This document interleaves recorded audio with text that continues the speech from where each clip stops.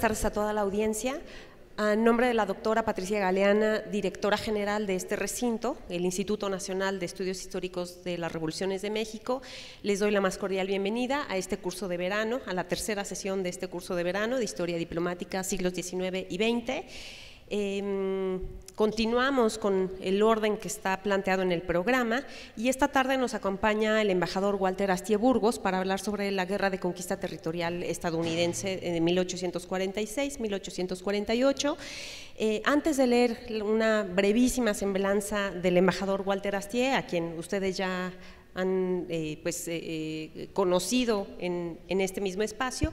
Les recuerdo que por un principio de orden, los comentarios y las preguntas se formulan a través de papeletas. Nosotros estaremos pasando durante la conferencia de nuestro invitado para que puedan anotarlas y que al final entonces pues, les podamos dar respuesta. Es lo más fácil y también es el modo de incluir a la gente que nos sigue desde Periscope porque las preguntas de manera oral no se entienden. Así que les pido por favor que acatemos esa indicación, que es la que utilizamos aquí en el instituto. Gracias. Y ahora sí, sin más preámbulo, eh, pues eh, leeré una brevísima semblanza del embajador Walter Astie para que podamos aquilatar su presencia en esta tarde. El embajador Walter Astie Burgos estudió Relaciones Internacionales en la Facultad de Ciencias Políticas y Sociales de la UNAM y realizó estudios de posgrado en Venezuela, Inglaterra y Bélgica. Como parte del Servicio Exterior mexicano, ha asumido diversas funciones y puestos en la Cancillería mexicana, en la representación permanente de México ante la FAO en Roma y en las embajadas de México en Gran Bretaña, Bélgica y Estados Unidos. También fue embajador alterno en Washington, embajador ante los gobiernos de Dinamarca y Honduras, director para América del Norte en la Secretaría de Relaciones Exteriores y director general de la Academia Diplomática del Instituto Matías Romero. Se ha desempeñado como profesor de la UNAM, también en la Universidad Iberoamericana, en el Instituto Tecnológico Autónomo de México, en el Instituto Matías Romero, el Centro de Investigación y Docencia Económicas, el Tecnológico de Monterrey, en el Campus Cuernavaca, Ciudad de México y Santa Fe, y en la Universidad Anáhuac, México del Sur, en plantel sur. Eh, es autor de los siguientes libros, México en el siglo XXI, Orden Mundial y Política Exterior, en 2000, publicado en 2000, seis siglos de encuentros y desencuentros entre México y Europa, la relación triangular Europa, México y Estados Unidos, publicado en 2013, y en coautoría con Cristina Rosas, las relaciones internacionales en el siglo XXI, publicado por la UNAM en 2017. Así que, sin más preámbulo, le doy el uso de la voz al embajador Walter Astier, a ustedes les reitero la bienvenida y, por supuesto, a nuestro invitado. Muchas gracias.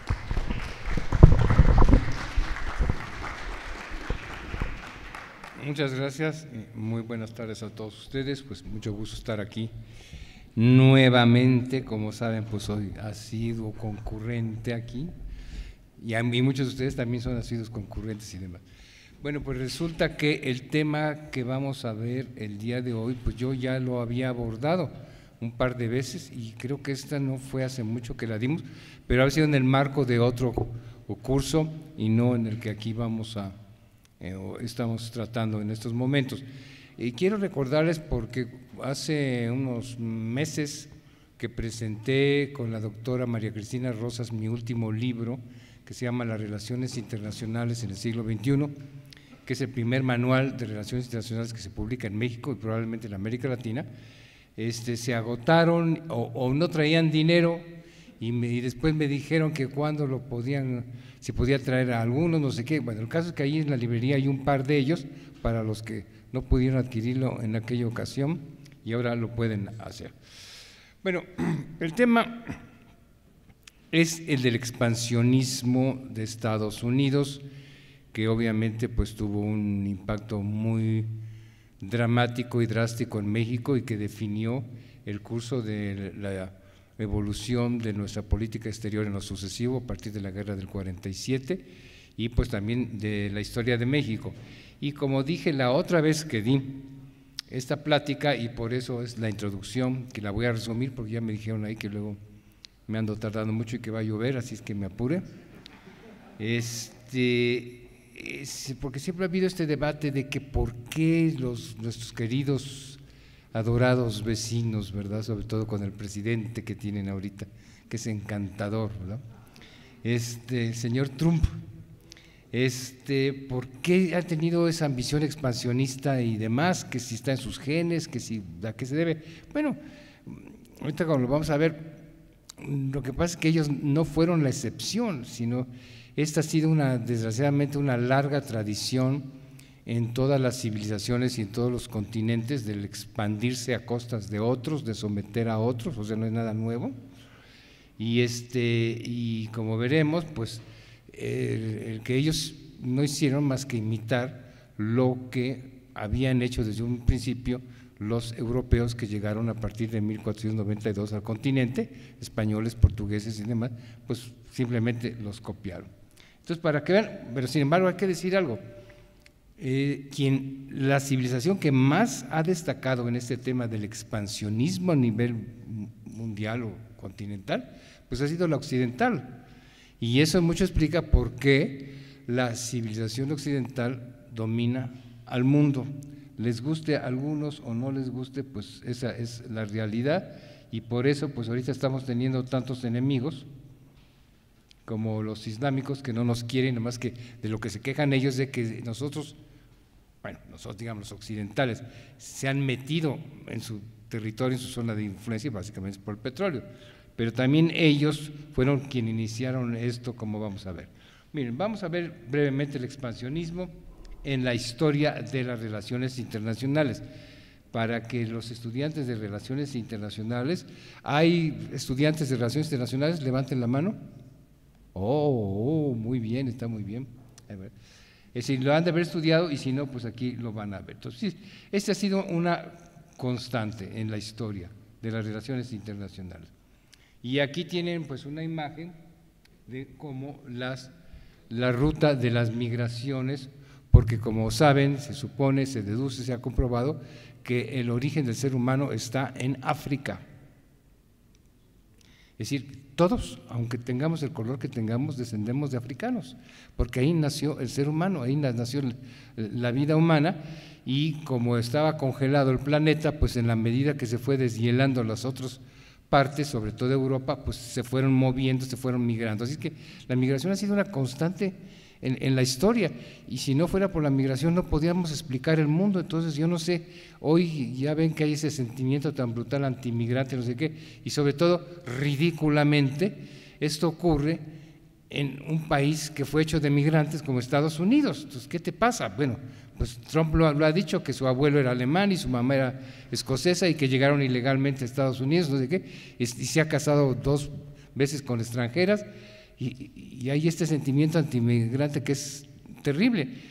Yo no soy nada aficionado al fútbol, ustedes sí, pero vean en el equipo ganador francés hay 15 africanos. Entonces, que no digan que no contribuyen y que son una lacra y que son una peste, pues Francia no hubiera ganado la Copa Mundial si no hubiera sido por los africanos que ya nacieron ahí, en Francia, bueno, son franceses, pues sí, pero no hay más que verlos para saber que son africanos, ¿verdad? Entonces, bueno, pues que no se quejen porque pues ha contribuido mucho al desarrollo y en forma positiva la migración. Entonces ahí tienen cómo se fue registrando esos movimientos. Entonces es un fenómeno que ha estado aquí toda la vida y va a seguir estando toda la vida, por favor, eso, es inevitable. Bueno, este, aquí que tenemos, ah, bueno, aquí lo que tenemos ¿Qué es lo que tenemos aquí? Ah, ya Uno de los antecedentes más remotos que sentó un gran precedente sobre el expansionismo fue ni más ni menos que Alejandro Magno, el macedonio, que siendo rey de Macedonia, pues se expandió, conquistó toda este, eh, Grecia y demás, y se fue hasta lo que hoy es Turquía, y se fue hasta Medio Oriente, y llegó hasta la India. O sea, ese fue el inicio de un conflicto que se sigue repitiendo entre Asia y Occidente. Y quien puso la mala mm, semilla o sembró el problema pues fue Alejandro Magno porque fue Occidente que se fue a meter a, Persia, a Egipto, hasta la India llegó y ya no pudo ir más lejos porque ya se rebelaron las tropas y porque además lo mataron, se supone que lo mataron a los 33 años, ¿no? Pero tuvo una carrera pues increíble. Y entonces de ahí en adelante en Occidente siempre se vivió con el mito de imitar las grandes glorias de Alejandro Magno y de expandirse y demás. Vean todo lo que logró conquistar. Y claro, quienes pues lo, lo, rebasaron en sus metas de ambición imperial, pues fueron los romanos, ¿verdad? Y este, ahí tienen, esta es la imagen del primer emperador de Octavio y demás, y ahí tienen la imagen de hasta dónde llegó el imperio romano, su máxima extensión la alcanzaron con el emperador Vespasiano. Y vean, bueno, era una potencia mundial, pero no podemos llamarla potencia mundial porque era una potencia regional. Abarcaba parte de Europa, parte de Asia y una parte muy limitada de África. Pero pues obviamente en esa época no se conocía lo que era el mundo y si había otros continentes y nunca se había llegado y demás. Entonces, bueno, pues hasta ahí también sentó un gran precedente porque de ahí en adelante todos los grandes emperadores reyes pues trataron de imitar a, este Alejandro y a los emperadores romanos y demás. Y si ustedes han ido a Washington y han visto esos puentes que tienen sobre el río Potomac, pues llenos de estatuas clásicas, estilo romano de emperadores, y además nada más les falta este, poner, bueno, si hay algunas estatuas por ahí de, de, épocas pasadas como de Washington, de Jefferson, que dan más la imagen de como emperadores romanos, ¿no? Bueno, pero ha sido una contradicción porque ha sido una república democrática y demás, pero pues es, un imperio Estados Unidos. Bueno, aquí también pueden ver que lo hubo en sentido contrario, y es de los musulmanes, una vez que bueno, predicó Mahoma y surgió el movimiento islámico y todo esto, y que fue una gran fuerza unificadora, y vean hasta dónde se expandió. O sea, en su apogeo el imperio este, musulmán, que alcanzó su máxima expresión con el califato Omeya entre 661 a 750, vean todo el territorio que abarcaba y pues obviamente como saben pues llegó a, conquistar España y parte de, de Francia. Entonces ahí fue la primera vez que ya la invasión, expansión fue al revés, fue de Asia hacia para nosotros, porque nosotros habíamos puesto el mal ejemplo, pues dijeron ahora lo hacemos al revés, cuando el mundo musulmán se convirtió en una potencia. Y para efectos prácticos, pues se convirtió en una gran potencia mundial, vean el, el tamaño que tuvo. Y esto es lo que los locos fundamentalistas terroristas islámicos contemporáneos quieren revivir. O sea, quieren reconstruir esa gloria, ¿no? Entonces, bueno, ahí tenemos un serio problema porque pues va a afectar seriamente a, Occidente, que pues, es irrealizable semejante proyecto, ¿verdad? Pero en fin, no se puede realizar, pero mientras pues causa una serie de trastornos y de problemas y terrorismo y lo que gusten y manden. Aquí tienen un caso muy peculiar que fue el de China, que nos deja ver que no todas las civilizaciones han sido expansionistas. Y este es el caso del primer emperador de la China unificada, que, fue el emperador Qing, porque al origen China pues, eran distintos países con lengua e idioma común y todo esto, pero fue el rey de una de estas provincias que logró unificar a toda China y se llamaba Qing y por eso le puso a China, pues China y no sé qué. Y una vez que unificó todo esto, el territorio de China, que no había en ese momento, en la Edad Media, un país en el mundo que compitiera en tamaño, en población, en adelanto científico, técnico, en riqueza, etcétera, etcétera, la gran potencia mundial. Pero al emperador Qing se le ocurrió, pues ya que unificó a toda China, averiguar qué había más allá de las fronteras de China. Y entonces comisionó al famoso almirante Juan,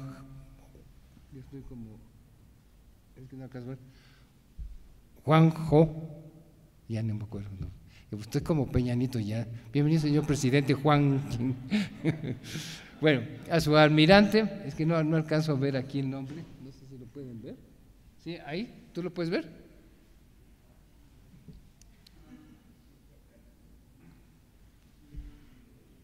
No. Bueno.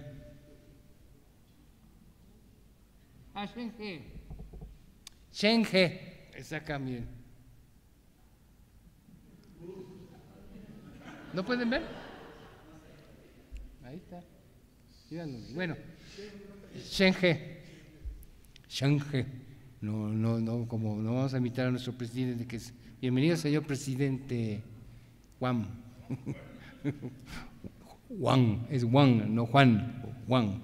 Bueno, Shenge fue el almirante y lo comisionó y se creó una flota de barcos impresionante como nunca habían existido en la historia y no volvió a haber una flota de ese tamaño sino hasta la Segunda Guerra Mundial y fueron a averiguar qué había alrededor y fueron a Asia del Sur, llegaron a Ceilán, llegaron a la India, llegaron hasta África, anduvieron varios años dando la vuelta a ver qué demonios había para allá. Al cabo de un par de años, pues regresó y le dijo al emperador, este, ¿quién Shenhe, le dijo al emperador Chim, digo, ah, tú fíjate que no hay nada bueno por allá. Digo, hay puro pueblo incivilizado, puro bárbaro que se pelea, no sé, llevó ahí cosas exóticas, animales exóticos y no sé qué, pero no, no vale la pena nada, no vale la pena nada. Y entonces el emperador mandó destruir la flota y apenas hace unos años la están recuperando, la encontraron, la hundieron, porque para qué iban a salir. Eso, perdieron todo el interés de salir al exterior y ver que había más para allá y se unió con el insistente ataque de los mongoles que querían penetrar China y querían que los aceptaran y los chinos los despreciaban porque eran piojosos y mugrosos y analfabetas, así como ahora nuestra campaña este, electoral, ¿verdad? Revivió en México el clasismo y el racismo, qué horror, ¿no? Esos indios piojosos ahora van a gobernar el país, ¿eh? qué horror, qué escondido teníamos ese clasismo y ese racismo, ¿no? Pero aquí está presente. Bueno, y entonces, bueno, y se construyó la muralla. Aquí este episodio mostró una gran verdad histórica, que el país que se margina va a ser un gran perdedor, porque se sintieron tan satisfechos del progreso que tenían de la riqueza y de la cultura, que no había ningún igual en el mundo a ellos, que para qué se revolvían con los menores, con los bárbaros salvajes, no sé qué, y se cerraron. Pues sí, pero lo que ocurre es que en alguna parte del mundo, de repente, pues comienza a haber otra civilización más próspera, más avanzada, etcétera, etcétera, y como no tienen contacto con ello, pues no logran absorber sus conocimientos y sus progresos, se marginan. ¿Y qué pasó? Que a lo largo del tiempo, pues ahí se quedó atorado, estancado el imperio chino, y cuando en el siglo XIX aparecieron los occidentales, pues no tuvieron ni los métodos, ni las técnicas, ni las armas de guerra, ni nada para resistirlos, ¿no? Dieron cuenta que sus cañones, ellos que habían inventado la pólvora, pues ya los otros ya la tenían armamentos muy superiores y les dieron en, la torre y los sometieron y no sé qué. Entonces, es malo aislarse del mundo y es lo que está haciendo Estados Unidos, ¿no? No te aísles porque te vas a quedar rezagado y demás. Pero en fin, Aquí la mentalidad del chino en esa época fue, pues, ¿para qué nos expandimos? Tenemos todo, no hay nadie como nosotros, nos marginamos y los ignoramos, etcétera, etcétera. Ahora aprendieron esa gran lección de la historia y por supuesto que no se han marginado y al contrario, lo que han hecho es copiar toda la ciencia y toda la tecnología y todos los métodos de los otros más adelantados de Occidente y vean ya dónde están, ¿verdad? porque pues van a llegar, creo que en el año 30, a ser la primera economía del mundo y va a ser la primera potencia mundial. Mientras el baboso de Trump, ¿verdad? Pues está haciendo, aislándose y haciendo estupidez y media y poniéndole aranceles y bueno, ¿para qué les cuento?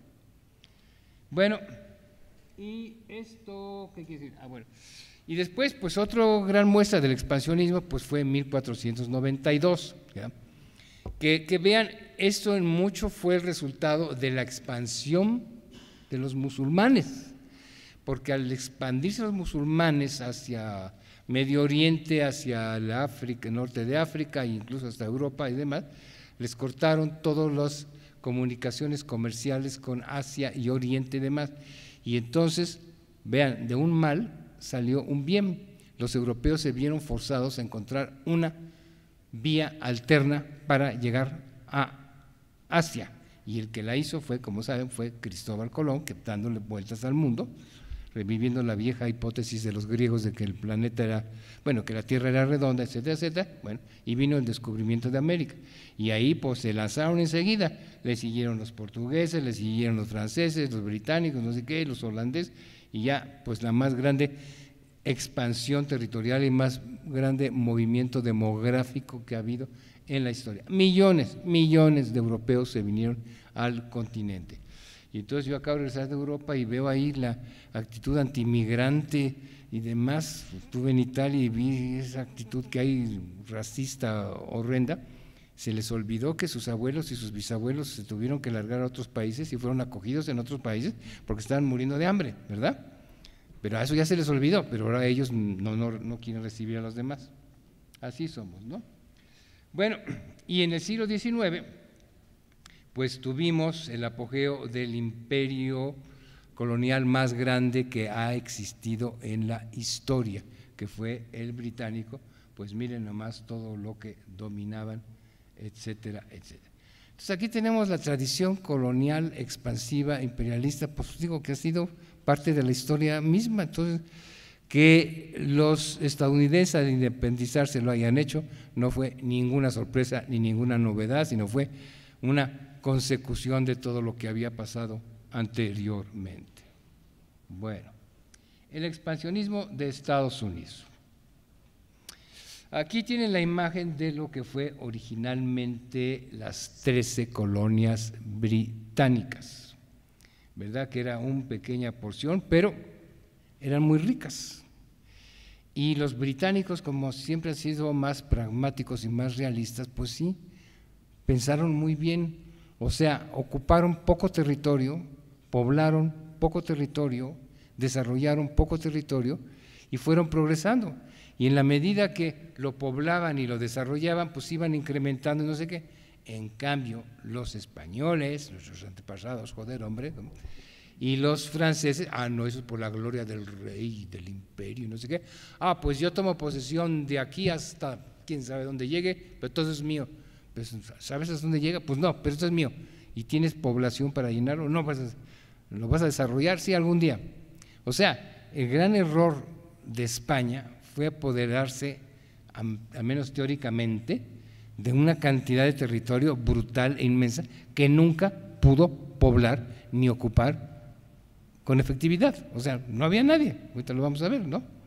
Y en cambio los británicos, pues, pues se quedaron en las 13 colonias y no se comenzaron a mover, sino hasta que pues, fueron progresando, desarrollándose, poblando y civilizando, o más bien dicho, occidentalizando esos territorios.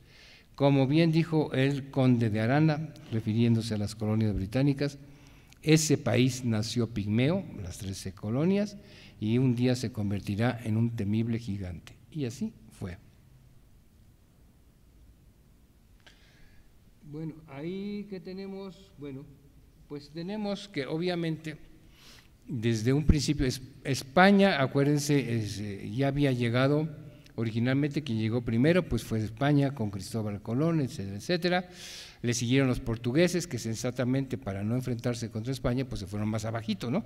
Y llegaron a Brasil y vino todo esto, la bula alejandrina que dividió el Papa Alejandro VI Borgia, que era español, por cierto, claro, el mundo como una naranja entre portugueses y españoles, y bueno, pues este, le tocó todo Brasil a Portugal y ya se quedaron contentos los españoles, pero después los protestaron los ingleses y ¿por qué a mí no me toca nada? Y bueno, pues se lanzó, pero también para no enfrentarse con España se fue más arriba, pues llegó a Estados Unidos y demás, y luego los franceses también hicieron lo propio y se fue todavía más arriba y se fue a Canadá, etcétera, y así se fue forjando nuestro continente. Ahora, a España en un principio, pues como era la gran potencia colonial y en el siglo XVI hay que recordar que fue la primera potencia mundial de la historia, pues no se metieron con ella. Además había territorios inmensos que separaban a las colonias, ¿verdad? Nunca se tocaron. Pero el conflicto se inició desde un principio entre Gran Bretaña y Francia y el conflicto que tenían en Europa se repitió insistentemente entre el Canadá francés y las trece colonias y vivieron casi dos siglos de guerras y de luchas constantes y territorio de Canadá pasaba a ser británico y luego era francés y lo recuperaba uno y lo y se la vivieron matándose no hasta que finalmente por las ambiciones hegemónicas de los reyes borbones de España, perdón, de, de Francia, acabaron perdiendo Francia todas sus posesiones, eh, las más importantes en América, mediante la guerra de la sucesión española y sobre todo con la guerra de los siete años, pues tuvo que ceder, transferir todo Canadá a Gran Bretaña, que fue la transacción territorial más grande de la historia que ha existido. Nunca antes ni después se cambió por medio de un tratado tal cantidad de territorio, pero no solo transfirió todo el Canadá, sino que transfirió muchas de sus colonias en el Caribe y también las colonias que Francia tenía en la India. Y eso pues convirtió a Gran Bretaña en la gran potencia y así ya fue desplazada Francia de del continente americano, se quedó con algunas colonias que todavía existen ahí en el, en el Caribe, Guadalupe y todas esas, Martinica y demás, pero ya del continente fue desplazado. Bueno, lo que ocurrió es que en esos dos siglos de luchas entre franceses y británicos americanos, los británicos se aliaron a las naciones indias que vivían en esos territorios, fueron sus aliados, en la lucha contra los franceses. Pues yo, les cito, si vieron la película uh, Revenant, si la vieron? El Renacido, habla precisamente de eso, ¿no? de la vida de los tramperos, que eran los que explotaban los recursos naturales, la caza de, este, de, pieles, de osos, de zorros, etcétera, etcétera, pues eso ilustra cómo vivían en esta época aquellas gentes y cómo se entraban en, conflicto y demás. Y pues, bueno, fueron, esas naciones indias fueron aliadas de los británicos en contra de los franceses. ¿Qué pasó? Cuando finalmente los británicos lograron derrotar a los franceses, los colonos estadounidenses, descendientes de los británicos, que ya pues, eran estadounidenses, bueno, no existía el país, pues dijeron, si ya no tenemos al enemigo canadiense aquí enfrente como lo tuvimos durante dos siglos, ¿para qué necesitamos al ejército británico aquí? ¿De quién nos va a proteger si ya no tenemos enemigo? Y dos, con base en esas guerras dijeron, bueno, pues es fácil deshacerse de un enemigo poderoso ejército europeo. Si los británicos sacaron a los franceses, ¿por qué nosotros no podemos echar fuera a los británicos? Bueno, y por X, las cuestiones de los impuestos y todo esto que sabe, pues comenzó el movimiento de independencia, pero lo que lo desató fue pues la derrota de Canadá, que los estadounidenses ya no vieron la necesidad de que siguieran el ejército británico ahí protegiéndolos de quién si ya no había enemigo. Ok, bueno. Y este, pues se independizaron en 1776, no sé cuánto. Y ahora, toda esta herencia que les menciono de expansionismo y de guerras y de luchas, no sé qué, pues la heredaron los estadounidenses, punto, ¿no? Y siguieron con lo que ya habían visto sus abuelos y sus papás y todo eso y demás, y continuaron con el proyecto expansionista, ¿ok? Ahí tienen las 13 colonias, lo pueden ver en la orilla, ¿no? Originales, independizadas en 1776, y lo que está junto es el territorio de lo que llamaban las naciones indias, que son las que les digo eran aliados de los británicos en contra de los franceses, ¿no? Pero cuando se acabó el peligro francés, una de las, a cambio de su apoyo y solidaridad de las naciones indias a los británicos, los británicos se comprometieron a no expandir las fronteras de las 13 colonias y respetar sus territorios. Pero cuando se fue el ejército británico y los gobernadores británicos, no sé qué, los colonos, los estadounidenses, pues no respetaron nada y se expandieron, pero brutalmente contra los pobres indígenas. Y los indios pues se sintieron tremendamente traicionados porque dijeron, bueno, nuestro protector era el ejército británico y por eso lo apoyamos. Ahora se fueron, ¿quién nos protege? Pues nos dejaron en manos de sus descendientes, ¿verdad? Que se les echaron encima. Y vean, de 1792 a 1820 se comenzaron a expandir y a ocupar todos esos territorios. ¿Cómo lo lograron?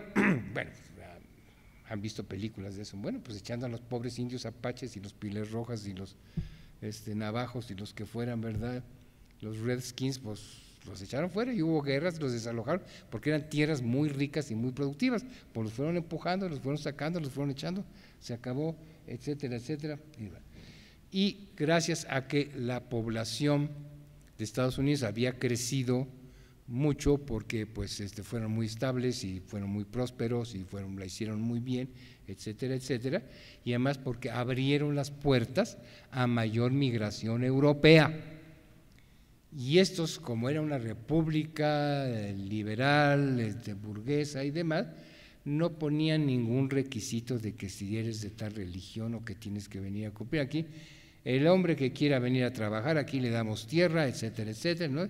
y pues poblaron y poblaron y se comenzaron a expandir, etcétera, etcétera. Bueno, eso fue 1692 a 1802. Lo que siguió ahí en 1803 fue un enorme beneficio que recibió Estados Unidos. Si a un país se ha beneficiado históricamente de los terribles conflictos entre los europeos, ha sido United States of America. Han tenido esa gran suerte y la han sabido aprovechar y sacarle provecho. Si no hubiera sido por Europa y por sus conflictos, Estados Unidos no sería la superpotencia que es hoy. la Primera Guerra Mundial y la Segunda le abrieron las puertas para expandirse por todo el mundo y demás. Y aquí la tiene. ¿Qué, ¿Qué es lo que pasó? Eso es la Luisiana. Vean el tamaño que tenía originalmente la Luisiana. La Luisiana era eso y no lo que hoy día es este, la Luisiana del estado de la Luisiana en Nueva Orleans, que es la parte que quedó abajo. Pero esa era una colonia fundada por los franceses cuando ocupaban Canadá, que de Canadá se expandieron, por ahí pueden ver, y llegaron por el Mississippi hasta el Golfo de México. Y entonces fundaron esa vicerreinato, virreinato, perdón, virreinato que se llamó la Luisiana en honor de Luis XIV. ¿ok? Y entonces era un territorio francés. Pero durante las guerras napoleónicas, que como ustedes saben, el principal enemigo de Napoleón y el que lo logró derrotar al final de cuentas fue la Gran Bretaña, pues a Napoleón I no se le ocurrió otra cosa más que venderle ese inmenso territorio a los gringos. ¿Por qué lo hizo? Pues porque actuaban de forma muy cortoplacista y claro, lo que le interesaba a Napoleón de momento era la guerra que tenía en ese momento y conquistar, y no vieron hacia el futuro. Imagínense si ese territorio se hubiera quedado en manos de Francia, Estados Unidos no existiría, ¿no? Porque habría ya una poderosa nación francesa, ¿no? Pero pues Napoleón erróneamente, además, en aquella época para los europeos lo que importaba era Europa. Todo lo más eran las colonias, que eran de segundo nivel ahí, para sacar recursos naturales y llena de primitivos, este, de salvajes, piojosos, y ya saben, ¿no? Porque había la creencia en la superioridad del hombre blanco y toda esta cuestión. Bueno, ok, pues se vendió una, porque necesitaba dinero para sus guerras, no sé qué, y dos, para crearle, fortalecer al enemigo que se había creado Gran Bretaña, con la guerra de independencia de Estados Unidos. Para fortalecerlo. Pero claro, no se dio cuenta que si estaba fortaleciendo al enemigo de Europa, a un rival, pues también estaba fortaleciendo a un enemigo de Francia y del resto de Europa, ¿no? Y que al final, pues, pues Estados Unidos le quitó la supremacía a todas las potencias europeas y demás. Casos que se la vendió. Vean la suerte de Estados Unidos. Le dijeron, oye, ¿te interesa? era presidente era Jefferson, digo, pero claro que sí. Y pues la compraron y fueron a París a negociarnos. Oigan, ¿y hasta dónde llega el territorio? Pues no sabríamos decirle, pero ustedes sáquenle provecho. Pues no, no sabían. Bueno, pues se la vendieron y vean, todo ese territorio pasó tranquilamente a manos de Estados Unidos. ¿Eh? Eh, no sé, pero es más grande que Europa. Pero ve el tamaño. Es toda la parte central de lo que es hoy Estados Unidos. Ah, 15 millones. Bueno, eh, no eran lo que hoy son 15 millones, pero de todas maneras, pues para lo que se llevaron, pues digo, indiscutiblemente, ¿verdad? Bueno. Y ahora, este hecho ya le creó un problema a España porque implicó la transferencia de la Luisiana, que es un poco complicado, porque originalmente, como les dije, fue una posesión, una colonia francesa. Después, en una de las tantas guerras, se la cedió Francia se la tuvo que ceder a España porque era su aliada y porque había tenido otras pérdidas, se la traspasó a España, que fue terrible para España, porque imagínense, de repente España, bueno, la Nueva España era esto, pues pasó, expandió su frontera hasta acá, y entonces tuvo que mover todas sus defensas y sus milicias y sus fortalezas hacia allá. Y después, cuando ya fue emperador Napoleón e invadió España, se la quitó a España nuevamente. Y entonces les digo a los españoles, ahora, pues retírate otra vez, regresa de donde estabas antes, porque eso es mío otra vez. Y bueno, fue un gasto inmenso e inútil haber fortalecido todas las defensas aquí fronterizas y se tuvo que echar para atrás otra vez. Bueno, pero el caso es que pasando ese territorio, inmenso territorio, a manos de Estados Unidos, ya creó una peligrosa colindancia con el territorio de la Nueva España, ¿verdad? Que es el que pasó a estar en peligro, obviamente. Y gracias a esa continua expansión, bueno, desde un principio, desde que se independizó Estados Unidos, tuvo esta mentalidad expansiva, de que, bueno, si los ingleses lo habían hecho y los españoles lo habían hecho, pues ellos ahora les tocaba a ellos.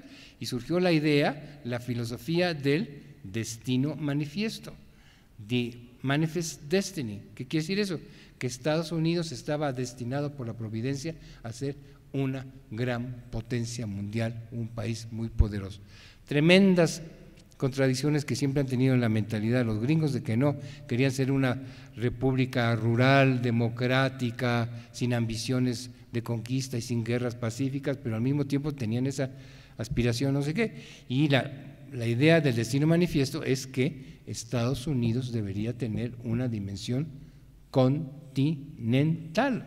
O sea, todo el continente americano debería ser United States of America. Y muchos pues siguieron con esa idea y bueno, la, fueron alcanzando poco a poco. Bueno, abajo tienen, arriba dice 1812, porque después de haberse independizado de la Gran Bretaña y en la época de las ah, guerras napoleónicas en Europa, etcétera, etcétera, los gringos se creyeron muy suaves, ¿no? De que ellos habían derrotado al poderoso ejército británico, ¿o sí? Y entonces, como estaban los británicos en Europa ocupados luchando contra Napoleón no sé qué, dijeron, pues ¿saben qué? Tenemos derecho a la catorceava colonia.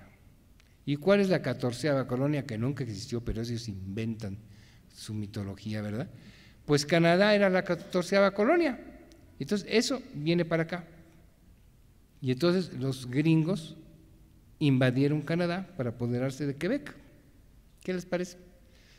Entraron en rabia los británicos, dijeron, estos les vamos a dar un escarmiento tremendo. Y pues les echaron toda la, a pesar de que estaban peleándose allá con Napoleón, no sé qué, les echaron al ejército, los sacaron, los echaron fuera, invadieron Nueva York y se fueron, el ejército británico se fue hasta Washington y quemó la Casa Blanca. Así que la que hay es la réplica de la original. Para ponerse una lección, a ver, atrévete a volverte a meter con Canadá y ve lo que te va a pasar. Ahí se dieron cuenta los gringos de que no eran tan poderosos ni tan suaves como se habían creído. Se les olvidó que solo lograron ganar la independencia contra Gran Bretaña gracias a la, al increíble apoyo Francia les dio para que lograran la independencia. Les dio armamento, fundó este, el rey una fábrica de armas y cañones específica para ellos, les regalaron dinero, les prestaron dinero, les enviaron militares para entrenarlos porque no tenían militares, etcétera, etcétera. Y luego Holanda también entró en la guerra porque tenía problemas con la Gran Bretaña y Francia, como siempre era su aliada esta España, obligó a España a entrar a la guerra. Entonces, la lucha de independencia de Estados Unidos no fue nada más un conflicto entre Estados Unidos, los colonos, y sus, su metrópoli. Fue una verdadera guerra internacional porque participó Francia, Holanda y España pero a los gringos se les olvida eso y fueron ellos los que lograron la independencia y el Minuteman y ya crearon toda una fantasía, no sé qué, pero sin el apoyo brutal que dio Francia no lo hubieran ganado. Entonces se les olvidó eso y creyeron que ellos podían anexarse a Canadá y pues les dieron una tunda espantosa que pues les costó la Casa Blanca y ya De ahí aprendieron que, ah, caray, con Canadá no te metas. Entonces, ¿qué hacemos? ¿Para dónde vamos? Ah, pues mira, España ya está muy débil, ya no es la potencia que fue, entonces ahí pues a nosotros se nos vino el problema encima.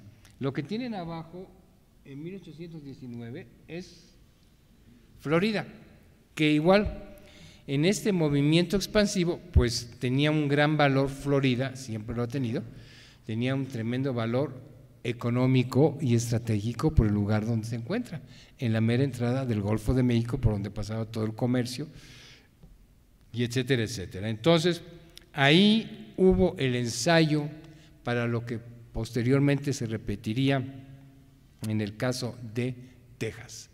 Empezaron los gringos a fomentar, a dejar que sus squatters, o sea, le hace lo que hoy día se llama ilegales, se filtraran y no sé qué y no sé cuánto, y ya instalados ahí en territorio español, pues se levantaran y se quejaran en contra de la tiranía de los terribles españoles que eran muy malos y los maltrataban y porque no eran una democracia. Y además saben qué, eran horriblemente católicos y cristianos y querían en el Papa y todas esas cosas horrendas y tenían la Santa Inquisición.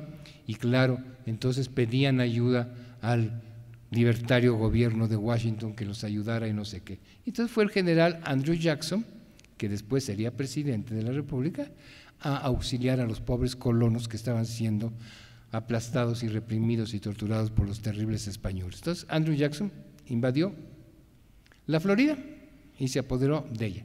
Y estando ahí, pidió permiso a Washington para brincar a Cuba, para que vean el origen del problema de Cuba, de dónde viene. Y claro, la importancia de Cuba, pues no está ahí pintada, pero ya saben, está enfrente de, de Florida, pues es el valor tremendamente este, estratégico que tiene la isla, ¿verdad? Pues esa ha sido su, su tragedia. Bueno, pero en Washington dijeron, no, no, no, ya ahorita con lo de Florida, no, cálmate, hold your horses, no, no, no, ya es demasiado. Bueno, casualmente en ese mismo momento en que se invadió a la mala Florida, se estaba negociando en Washington el tratado de límites fronterizos entre la Nueva España, ahí está, y Estados Unidos que había comprado la Luisiana. Entonces eso ameritó pues hacer un nuevo tratado de los límites donde estaban y, y ese tratado se llamó Adams-Onís porque lo firmó, lo negociaron el embajador de España en Madrid que se apellidaba Onís y el secretario de Estado que era Adams, que después también llegaría a ser presidente. Pues estaban negociando ahí la frontera de esta parte cuando sucedió lo de de Florida y pues se apoderaron a la malagueña de la Florida y no sé qué, y pues ellos bueno, ya dijeron, ok, españoles, mira, ya esto nos lo vas a dar, no sé qué, no sé cuándo. 15 millones te pagamos de dólares, porque somos, bueno, esto es una compra, no vamos a pasar a la historia como que invadimos y arrebatamos, eso solo los hacen los reyesuelos, los emperadores, esos, ¿no? Nosotros somos una república democrática, no, no, nosotros We buy things, we buy territory, lo compramos. Y entonces, curiosamente, si ustedes ven el tratado Adams-Onís entre España y Estados Unidos, el primer artículo, pues ahí estaban en la negociación, ¿saben qué? Métanle ahí la cuestión de Florida. Y el primer artículo habla de la venta, repito, de la venta de las Floridas por parte de España a Estados Unidos. Ahí el pegote fue el primer artículo, habla sobre. Y entonces Estados Unidos compró, entre comillas, las Floridas, no sé qué, y eso se repetiría, no sé qué. Bueno, y se aprobó el tratado y no sé qué, no sé cuánto. Ok, bueno. Entonces, ya vean que a partir de ese momento lo único que quedó pendiente fuera, era esto y esto. Y esto era ni más ni menos que nuestro Mexiquito lindo y querido, la Nueva España, y esto es el territorio de Oregon, que era una posesión británico. Estaba visto hacia dónde iban, el destino manifiesto, los éxitos que habían tenido, una con violencia como Florida, o porque se las vendió Napoleón, o lo que ustedes quieran, pero ahí iban. Y la gran ambición de Estados Unidos era obviamente cuál? Esto, llegar al Océano Pacífico. Por razones estratégicas de protección, porque pues tiene esa bendición que la protegen Estados Unidos dos grandes océanos, ¿verdad? Y nunca ha sido invadida más que por Pancho Villa y por los... Sí, en serio. Y por este... Ah, bueno, y los británicos, son tres las invasiones, bueno, si consideran los ataques terroristas también, pues ahí está. Bueno, la meta era llegar al Océano Pacífico, tener frontera con el Océano Pacífico, para tener, poder comerciar y expandirse hacia el Oriente, China, Japón, todo esto, no sé qué, no sé cuánto. Y ahí.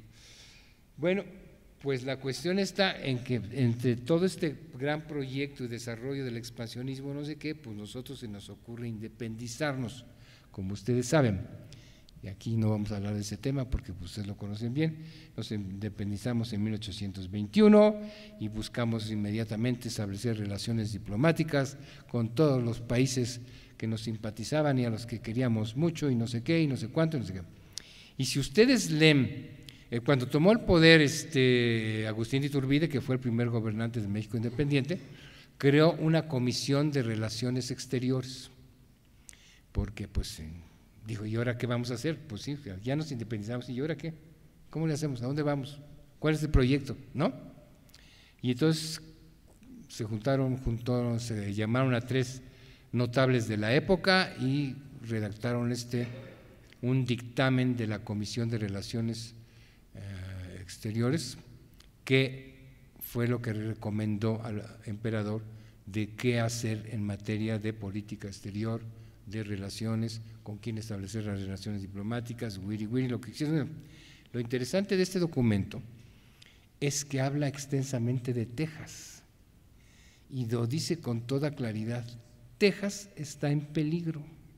O sea, que la pérdida de Texas fue la crónica de una pérdida anunciada, o sea, no ocurrió en 36, 1936 así de golpe, se sabía y después viendo toda esa tendencia que tenía años de estarse desarrollando, pues hacia dónde iban los gringos, ¿no? Entonces no era surprise. Y en el documento ese usted dice, Texas está en peligro. ¿Por qué? Porque no hay población. Había tres mil y pico gentes en el inmenso territorio de Texas, punto. Los españoles no pudieron poblarlo porque no tuvieron recursos humanos y después, pues con la independencia, nosotros, entonces recomendaba la comisión al emperador, pues establecer relaciones diplomáticas con el gobierno de Estados Unidos y decía, estos no nos quieren, los anglosajones, pero, y lo que quieren es nuestro dinero y nuestro territorio, pero es necesario pues tener relaciones diplomáticas para el comercio, para fijar límites fronterizos y todo esto, no sé cuánto, no sé qué, y recomendamos poblar, traer población del exterior para poblar este Texas, etcétera, etcétera. bueno, entonces, el principal problema eh, respecto a México, la cuestión de Texas, es que no se pobló, nunca se pudo hacer nada, no se remedió la situación y en Texas no había nada.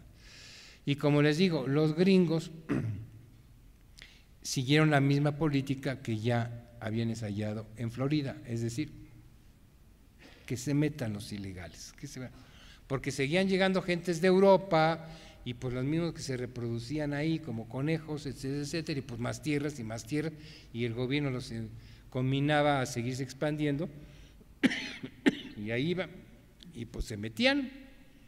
Por eso yo creo que en el, la, psique colectiva de Estados Unidos hay un miedo terrible a la... ¿eh? ¿Sí? A la inmigración indocumentada porque fue lo que ellos hicieron exactamente para poderse de esos territorios. Echen gente y no sé qué, y después están ahí como lo sacan, ¿no? Y pues se independizan y se alían a los gringos y se acabó. Entonces, pues yo creo que tienen miedo. Ok. En los gobiernos de la época mexicana, los nuevos gobiernos, trataron de tomar providencias de resolver ese problema y poblar Texas, pero nunca lo pudieron hacer. ¿Por qué? Porque heredaron el mismo celo religioso de los españoles, ¿verdad? ¿Y qué quiere decir esto? Que solo podían venir familias que fueran católicas. Ay, Dios mío, bueno. Los gringos dijeron que vengan judíos, protestantes, ateos, lo que quiera. Intentamos poblar, punto, ¿no? Somos una república libre y soberana y hay libertad de creer. Acá no. Ah, no. tienen que ser católicos. Bueno, ¿de dónde los sacas?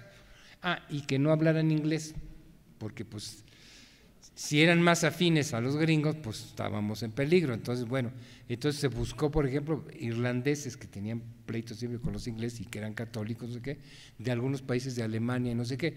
Pero la realidad es que, y bueno, como saben, a partir de nuestra independencia vivimos un ciclo de desastre, horrendos, de golpes de Estado, de azonadas, de cuartelazos, de revoluciones, de matanza y media, de no, no, no, no, un caos. Y entonces los europeos que querían migrar, ustedes díganme qué, ¿a dónde preferían irse? Que, leían, no, pues que ahí ya tiraron otra vez al presidente de México, no, que al emperador ya lo fusilaron y no sé qué. No, no, no, no, no.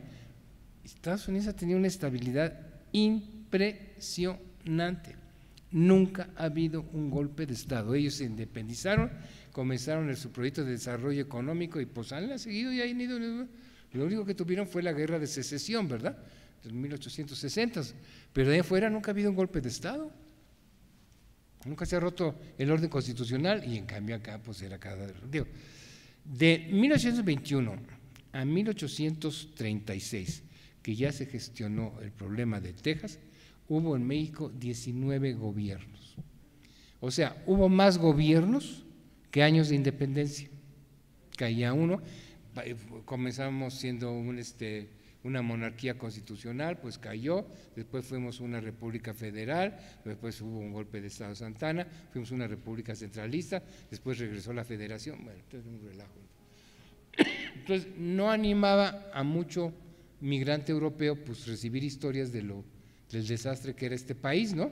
Y pues preferían irse con los Estados Unidos, lógica, ¿me, pues, ¿me entienden? Pues y además, pues solo tenían que ser cristianos y bautizados y todo esto.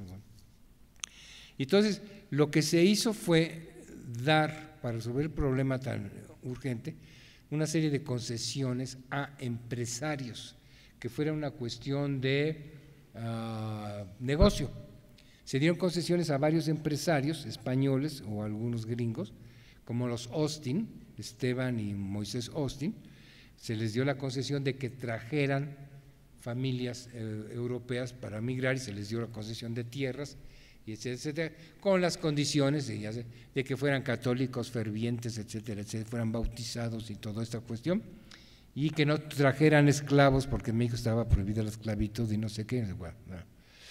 Pues se le vio como solución al problema, pero ni fueron muy exitosos, y luego, ¿quién iba a estar controlando allá arriba? Que ni carreteras había, ¿verdad? A quienes metían y a quienes no metían. Pues, por como vendían, cobraban comisión, no sé qué, pues métete, oye, pero yo soy ateo, pues ahora le métete. Este, pues yo soy este ortodoxo o, creo que es Confucio o lo que sea, pues métete. Musulmanes no venían por acá. Bueno, y así fue el problema.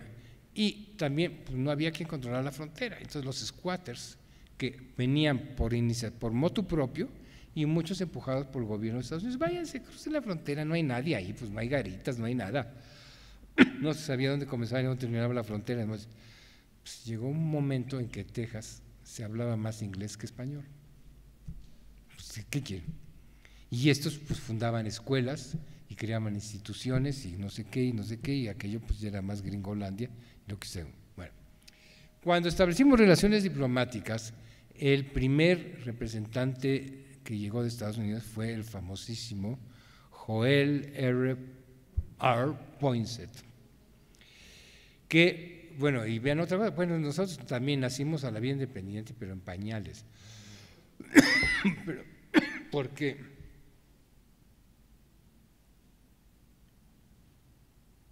las relaciones externas de la colonia las llevaba a Madrid. Entonces aquí pues no había nadie ni que conocía, no había ido a ninguna parte. Y nos mandan este señor Joel R. Poinsett, que tenía, que en la época pues eran diplomáticos, pero eran agentes subversivos, eran espías, eran tramposos, eran rateros, eran todo, todo. Y este señor había, ya había estado comisionado en Chile y en Argentina para fomentar la insurrección en contra de España. Ya nada más. y después estuvo trabajando en la corte del zar Alejandro I en Rusia. Así es que imagínense el colmillo que tenía este chango, ¿no? Y en cambio nosotros aquí, pues, este, Sosaya fue nuestro primer este, representante diplomático en Washington. pues a ver quién quiere ir allá. ¿Quién habla inglés? No, pues nadie. Pues yo medio sé algo, pues órale, pues vete. Digo, todo es improvisado, ¿no? El caso es que este colmilludo llegó y en su agenda de responsabilidades, su proyecto de trabajo, no sé qué, pues había, este, sí, definir los límites fronterizos, como el caso de México, fomentar el comercio, wiri wiri, lo que ustedes gusten y manden, pero la prioridad era comprar Texas. O sea, no lo ocultaron. Ellos supuestamente habían comprado Florida y supuestamente, bueno, eso sí, compraron este, la Luisiana, pues querían comprar Texas, ¿no? Entonces llegó muy tranquilamente, oiga, ¿usted sabe qué? Tienen mucho territorio allá, pues vean nada más eso. Este, está despoblado, no hay autoridades, no hay nada, pues se los compramos. No, ¿cómo crees que no sé qué? Ahí hubo un choque tremendo de dos mentalidades, dos filosofías, ¿no? así que bueno, aquí pues se vio hasta como un insulto, ¿no? El enfrentamiento que tuvo pues fue con el que era ministro de Relaciones Exteriores de Lucas Alamán. Que Lucas Alamán actuó pues no solo con patriotismo, decir, señor, el terreno patrio no se vende, no es una mercancía, no está a la venta.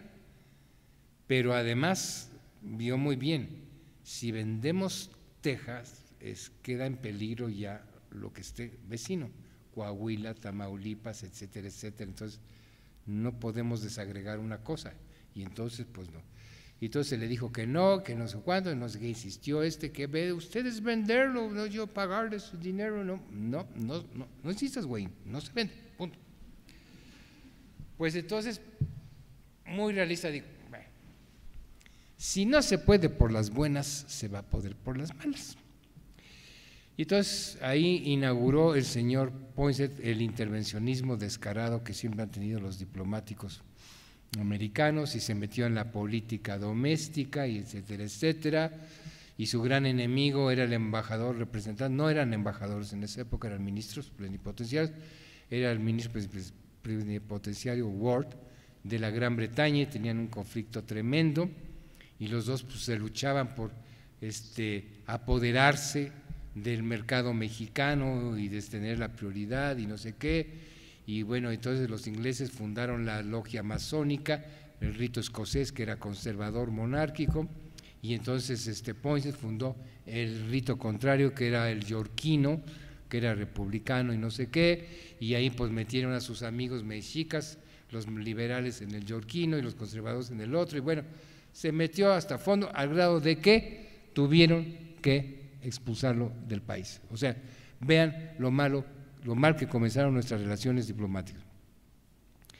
Que se tenga que declarar persona non grata a un embajador, un representante diplomático, pues es algo muy serio. Y aquí hubo un levantamiento que pidieron la expulsión de, de Ponce por estar metiéndose tanto en la política interna. Como se había hecho amigo de quien para entonces era presidente, que era este Vicente Guerrero, para no expulsarlo, pidió a Washington que por favor lo retirara, así como lo hizo Calderón con el embajador Pascual, ¿verdad? Dijo, o me lo quitas o lo expulso. Ah, no, pues mejor te lo quito porque se va a ver bien feo que la expulsión, ¿no? Entonces pidió que lo retiraran, bueno, pues se fue y no sé qué, pero ahí comenzó el lío. Y mandaron otro peor, porque siquiera Butler era sofisticado, era elegante, como había un diplomático finurris, digamos, porque había vivido mucho tiempo en Europa y eso, y mandaron a un patano, un tejano ahí. No, no era tejano, era paisano del presidente Jackson, era amigo de él, pero era del sur, no me acuerdo de dónde, no sé qué, y un guerrero cowboy aquí, llegó, ay, no, yo voy a comprar Texas, y, y estuvo armando ahí unos líos, y este... ofreciendo mordidas para conseguir el favor y etcétera, etcétera, armó unos líos espantosos. Después se le dijo que se le autorizaba 10 millones de dólares para que comprara Texas y mandó una carta Departamento de Estado diciendo, oigan, de esos 10 millones, ¿me autorizan 2 millones para sobornar a gente aquí en el gobierno? Y dijeron, oye, no manches, eso no. ¿Cómo le preguntas al presidente semejante cosa, no? A ver, vente para acá. Lo mandaron llamar. Este, ¿Ya les di cómo se llamaba?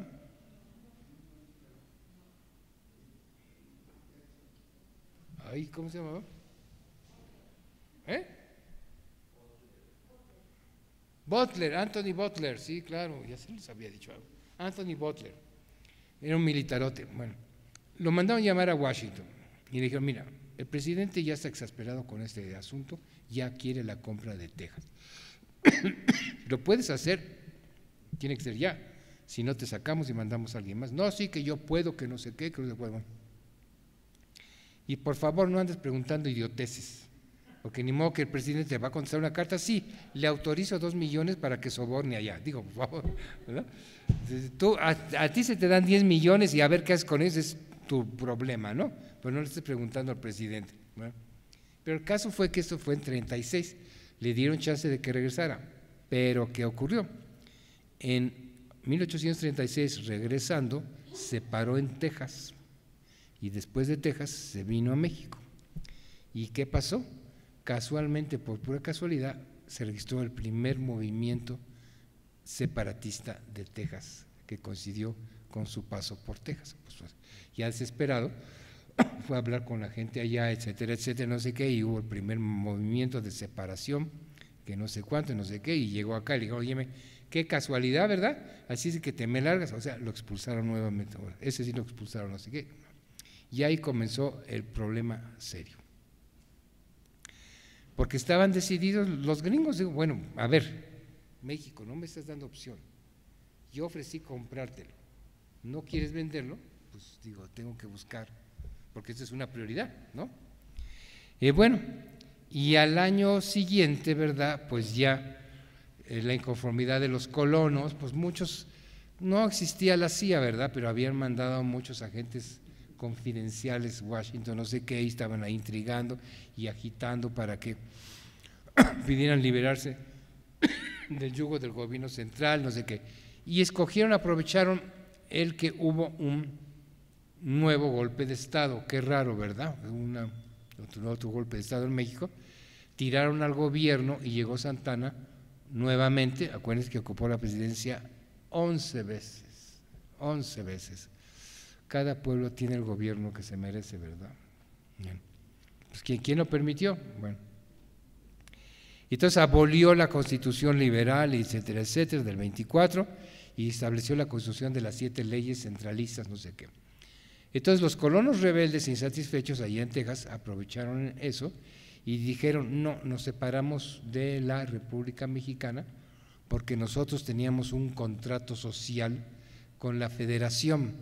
Y si ustedes están eliminando la federación, que es en la que formamos parte nosotros como Estado, provincia de la República Mexicana, entonces nos separamos, lo cual era la mentira más grande del mundo, porque muchísimos de ellos habían venido en la época de la colonia, que era totalmente centralista monárquico, otros en la época de Iturbide, otros en el gobierno centralista, entonces fue el pretexto no sé qué.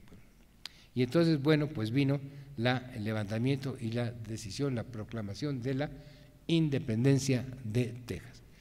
Para nuestra gran desgracia, ¿quién ocupaba la presidencia de la República en ese momento? El general Antonio López de Santana. ¿Y qué fue lo que hizo este semejante? Bueno,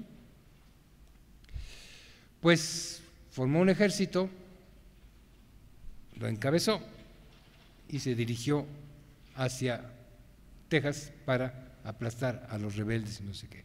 A ver, díganme, ¿en qué cabeza cabe que el presidente de la República en persona, personalmente, encabece las tropas para ir a someter a los rebeldes? Pero como era un loco que, pues, era un, Trump de la época, ¿verdad? Populista y lo que le encantaba era la gloria, y yo voy a someter a esos aquí y el pueblo me va a deber a mí el favor de yo ser un héroe nacional nuevamente y no sé qué y no sé cuánto.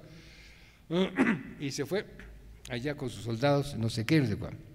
Y bueno, hubo varias batallas, como ustedes saben, pues los colonos resistieron, etcétera, etcétera.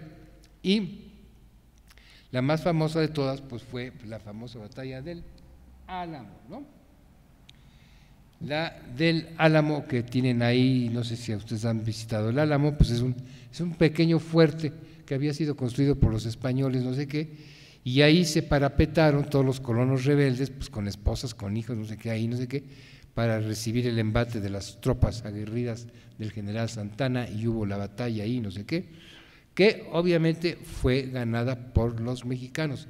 Y los mexicanos fueron, no tuvieron conmiseración y mataron a cuanto gringo encontraron ahí rebelde.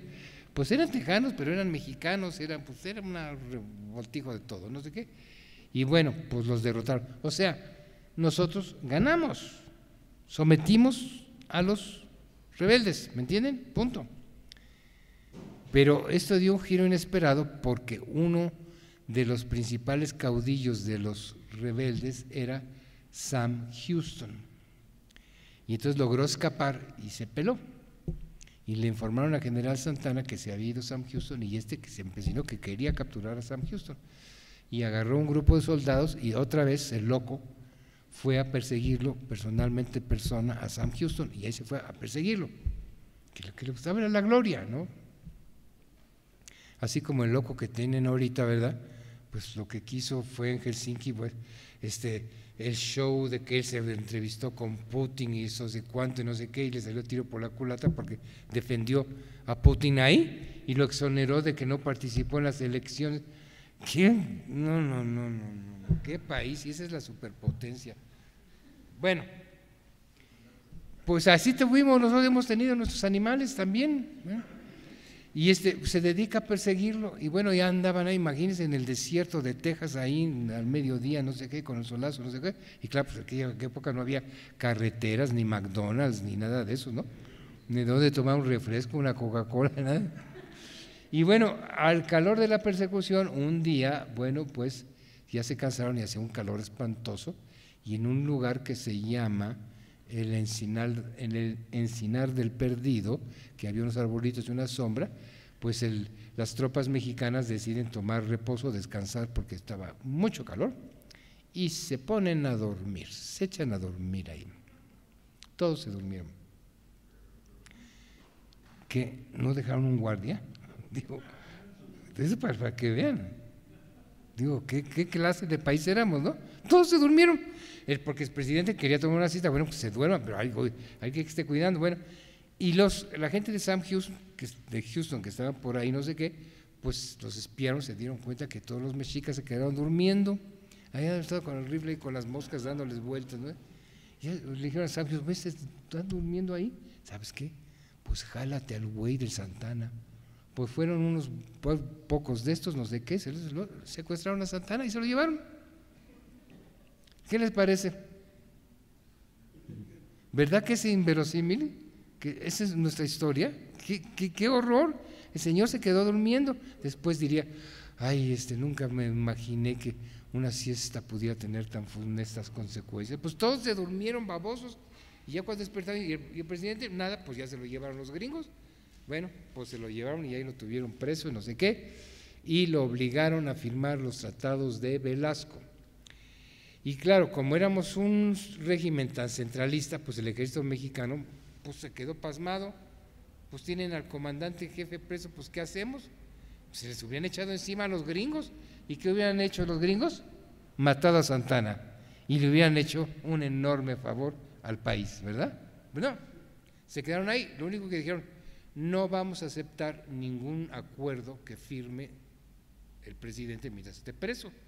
Pero entonces lo obligaron a firmar los tratados de Velasco, en el cual México reconocía la independencia de Texas y se comprometía a no atacarlo y wiri wiri, guara, guara, y no sé qué, pero no, lo reconocieron. Bueno, quedáronse satisfechos los, este, eh, los tejanos y, demás, porque ya realizaron este, elecciones, porque ya habían nombrado un presidente, pero ahora, por las prisas, pero ahora ya hubo elecciones y tuvieron su primer eh, presidente que se apellidaba Davis y el vicepresidente fue este Lorenzo Zavala, que era mexicano, y dijeron, ¿qué hacemos con Santana?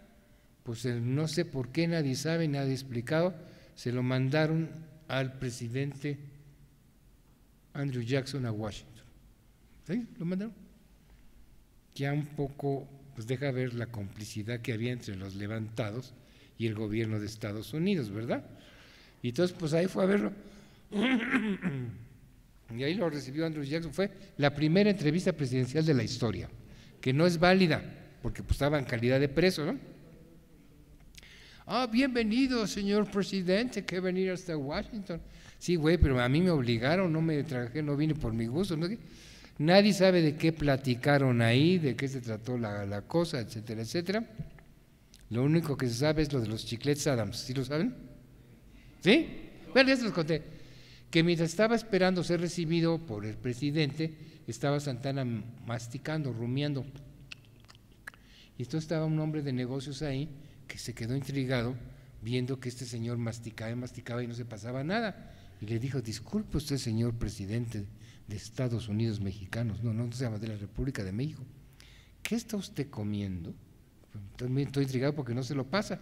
Ah, es una cosa que tenemos allá en mi hacienda de manga de clavo, en Veracruz que se llama chicle. Ay, ¿qué es el chicle? Pues esta goma que dan los árboles que bueno la usamos y estamos mastique y mastique. Ah, oh, how interesting. Y este señor se apellida Adams. Y entonces mandó a investigar y no sé qué y comenzó a producir los famosos chiclets Adams, que es el inicio de los chiclets. No sé, ¿todavía existen? Bueno, pues ahí están. ¿Te acuerdas? Eran unas cajitas de dos, yo me acuerdo de eso. Bueno, es la historia del chicle Saddam y. Bueno, platicaron, nadie sabe de, qué, de cuándo, no sé qué, y lo puso en un barco y lo regresó a México y no sé cuándo. ahí tuvimos el problema. ¿Qué sucedió?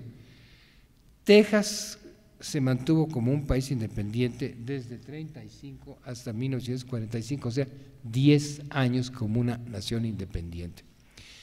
Regresó Santana y dijo, voy a levantar un ejército nuevamente para ir a someter a esos traidores, ingratos, no sé qué, que nos quitaron el territorio y recuperar el territorio y no sé qué.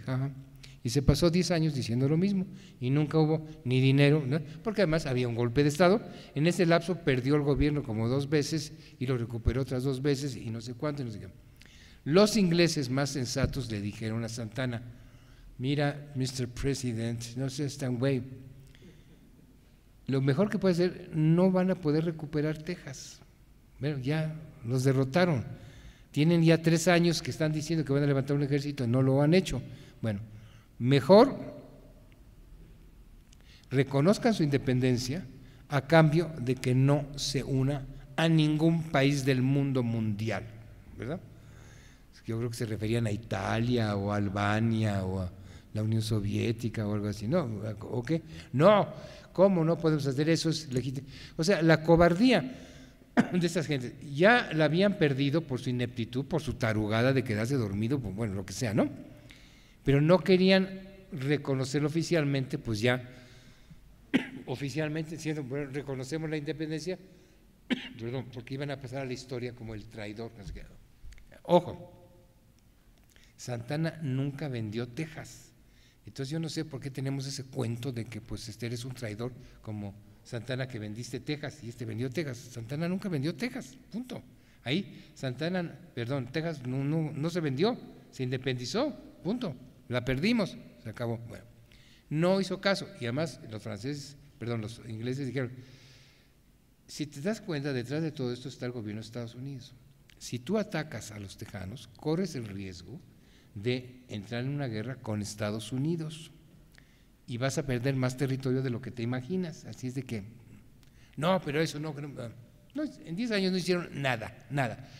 Los tejanos enviaron varias veces dos o tres emisarios para llegar a un arreglo con México, ofrecieron pagar una indemnización de un par de millones de dólares por la pérdida territorial a cambio de lo que los reconocieron. A ver, díganme ustedes, estos tenían dos, tres años de haberse independizado apenas y ya podían pagar tres o cuatro millones de dólares como una indemnización. Y antes de eso, ¿verdad? Pues este, Texas estaba muerta de hambre y no había este, ni agua ni comida para las vacas. Algo teníamos mal, ¿verdad? se les negó, no, se les recibió, no, no sé qué, no se llegó a ningún acuerdo, no sé qué. Y el asunto se quedó 10 años ahí. Lo mejor en la política para es no hacer nada, ¿verdad? Y dejar que las cosas ahí se queden. Pues sí, 10 años pasó ese problema y ahí se quedó. Ahora, del lado gringo, ¿por qué se toleró que esa situación quedara indefinida por 10 años? Porque se sabía que Estados Unidos lo que quería era incorporarse a Texas a la Unión Americana. Se presentó un problema mayúsculo había desde la independencia el histórico conflicto entre el norte y el sur. Y eh, la mayoría de los territorios que se habían venido adquiriendo con el tiempo formaban parte del sur. Y el sur, como saben, era esclavista y tenía esclavos, porque necesitaban esclavos, porque la base de su economía era la agricultura, las plantaciones, el algodón y todo eso, y tenían serios conflictos. Todo el mundo en Washington quería incorporarse a Texas a la Unión Americana, obvio. Pero a los del norte les preocupaba que si Texas se incorporaba a la Unión Americana, obviamente era un, era un estado del sur y iba a ser esclavista. Y entonces los sureños iban a tener votos adicionales en la Cámara de Representantes y en la Cámara de Senadores, ¿entienden? Y eso desequilibraba el proceso de la adopción de leyes, etcétera, etcétera. Entonces, por eso no, no, no quisieron y se quedó ahí en un stand-by la situación de que no se define, no sé cuánto, no sé qué. Pero pasaron 10 años y, esos, y los presidentes de la época veían que el problema era tan serio que podía desembocar en una guerra civil, como efectivamente ocurrió, por lo cual prefirieron ni moverle al asunto y se quedó ahí indefinido. Bueno, pero hacia el final de los 10 años llegó, había elecciones y estaba de presidente el republicano John, John Tiller y quería reelegirse. Y su oposición, el opositor era el demócrata James Polk. Entonces James Paul, que es un grande, que era fue un gran demagogo, que por cierto aquí tienen este, su memoria, su diario, que es una cosa de este tamaño. Este, James Paul ofreció, pues ya saben, las campañas presidenciales ofrecen hasta prestar a su esposa y a su mami, y no sé qué. ofreció, yo ciudadanos, si me apoyan a mí y me dan su voto, yo ofrezco recuperar para la Unión Americana la perdida provincia de Texas y de Oregon. Y los americanos, como la mayoría de los otros pueblos, pues, son ignorantes. Y, pues, ah, claro, está bien eso.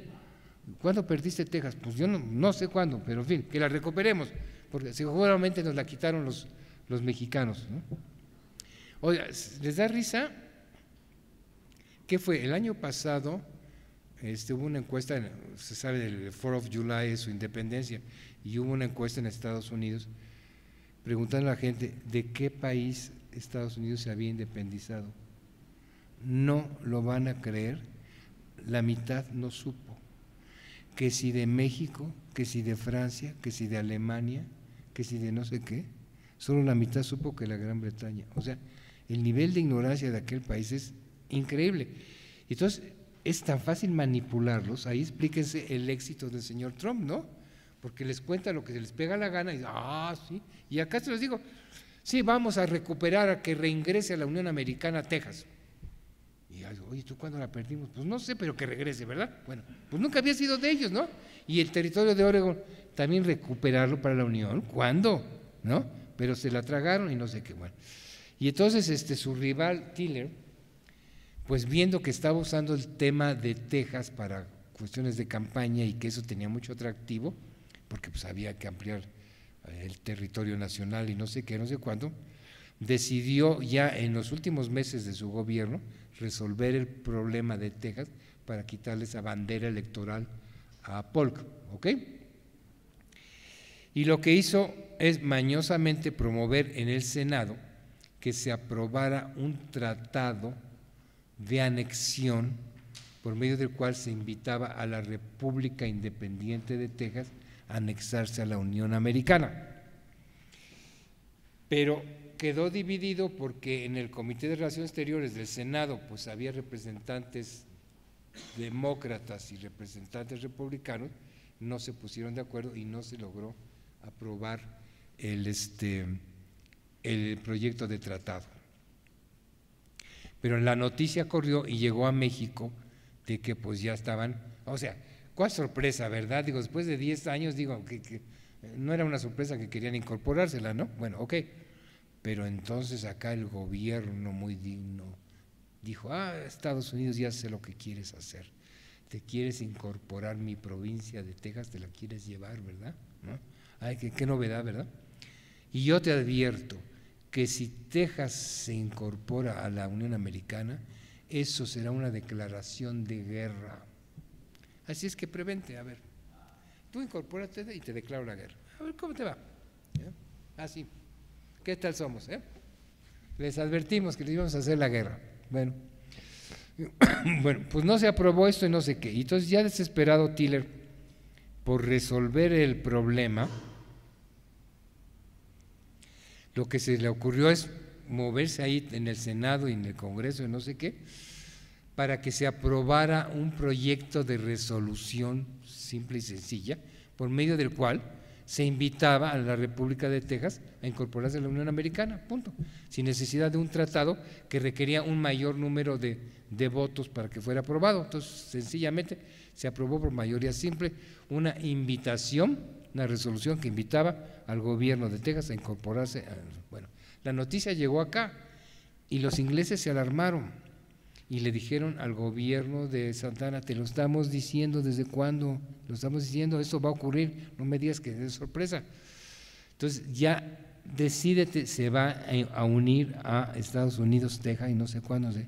Finalmente lo lograron convencer a Santana de que aceptara y enviara una invitación al gobierno de Texas ofreciéndole que México reconocía formalmente la independencia de Texas, se, establecían buenas relaciones, ya dejaban de haber hostilidades, a cambio de que no se incorporara a ningún otro país del mundo mundial, no sé qué, no se puede incorporar a China o a Vietnam o a ninguna, a nadie, ¿no? Ok, finalmente aceptó.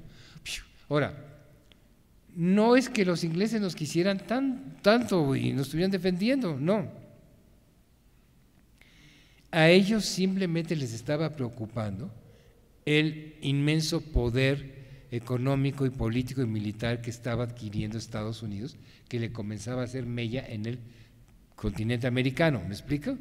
Y les preocupaba muchísimo que, pues si se hacía más potencia, se acabara apoderando del mercado mexicano, que a la larga ocurrió, ¿verdad? Y desplazaron a los británicos, no sé qué. Y entonces, pues, pues trataban de hacer algo para ayudar y contenerlos. Tan fue así que finalmente que aceptó Santana, ok, pues está la invitación, bueno, pues ahora hay que enviárselos. Y los ingleses, ¿sabes qué? Yo mando un correo inglés, porque si tú mandar a alguien aquí se va a quedar dormido ahí en el camino como acostumbra y no va a llegar nunca, no sé qué.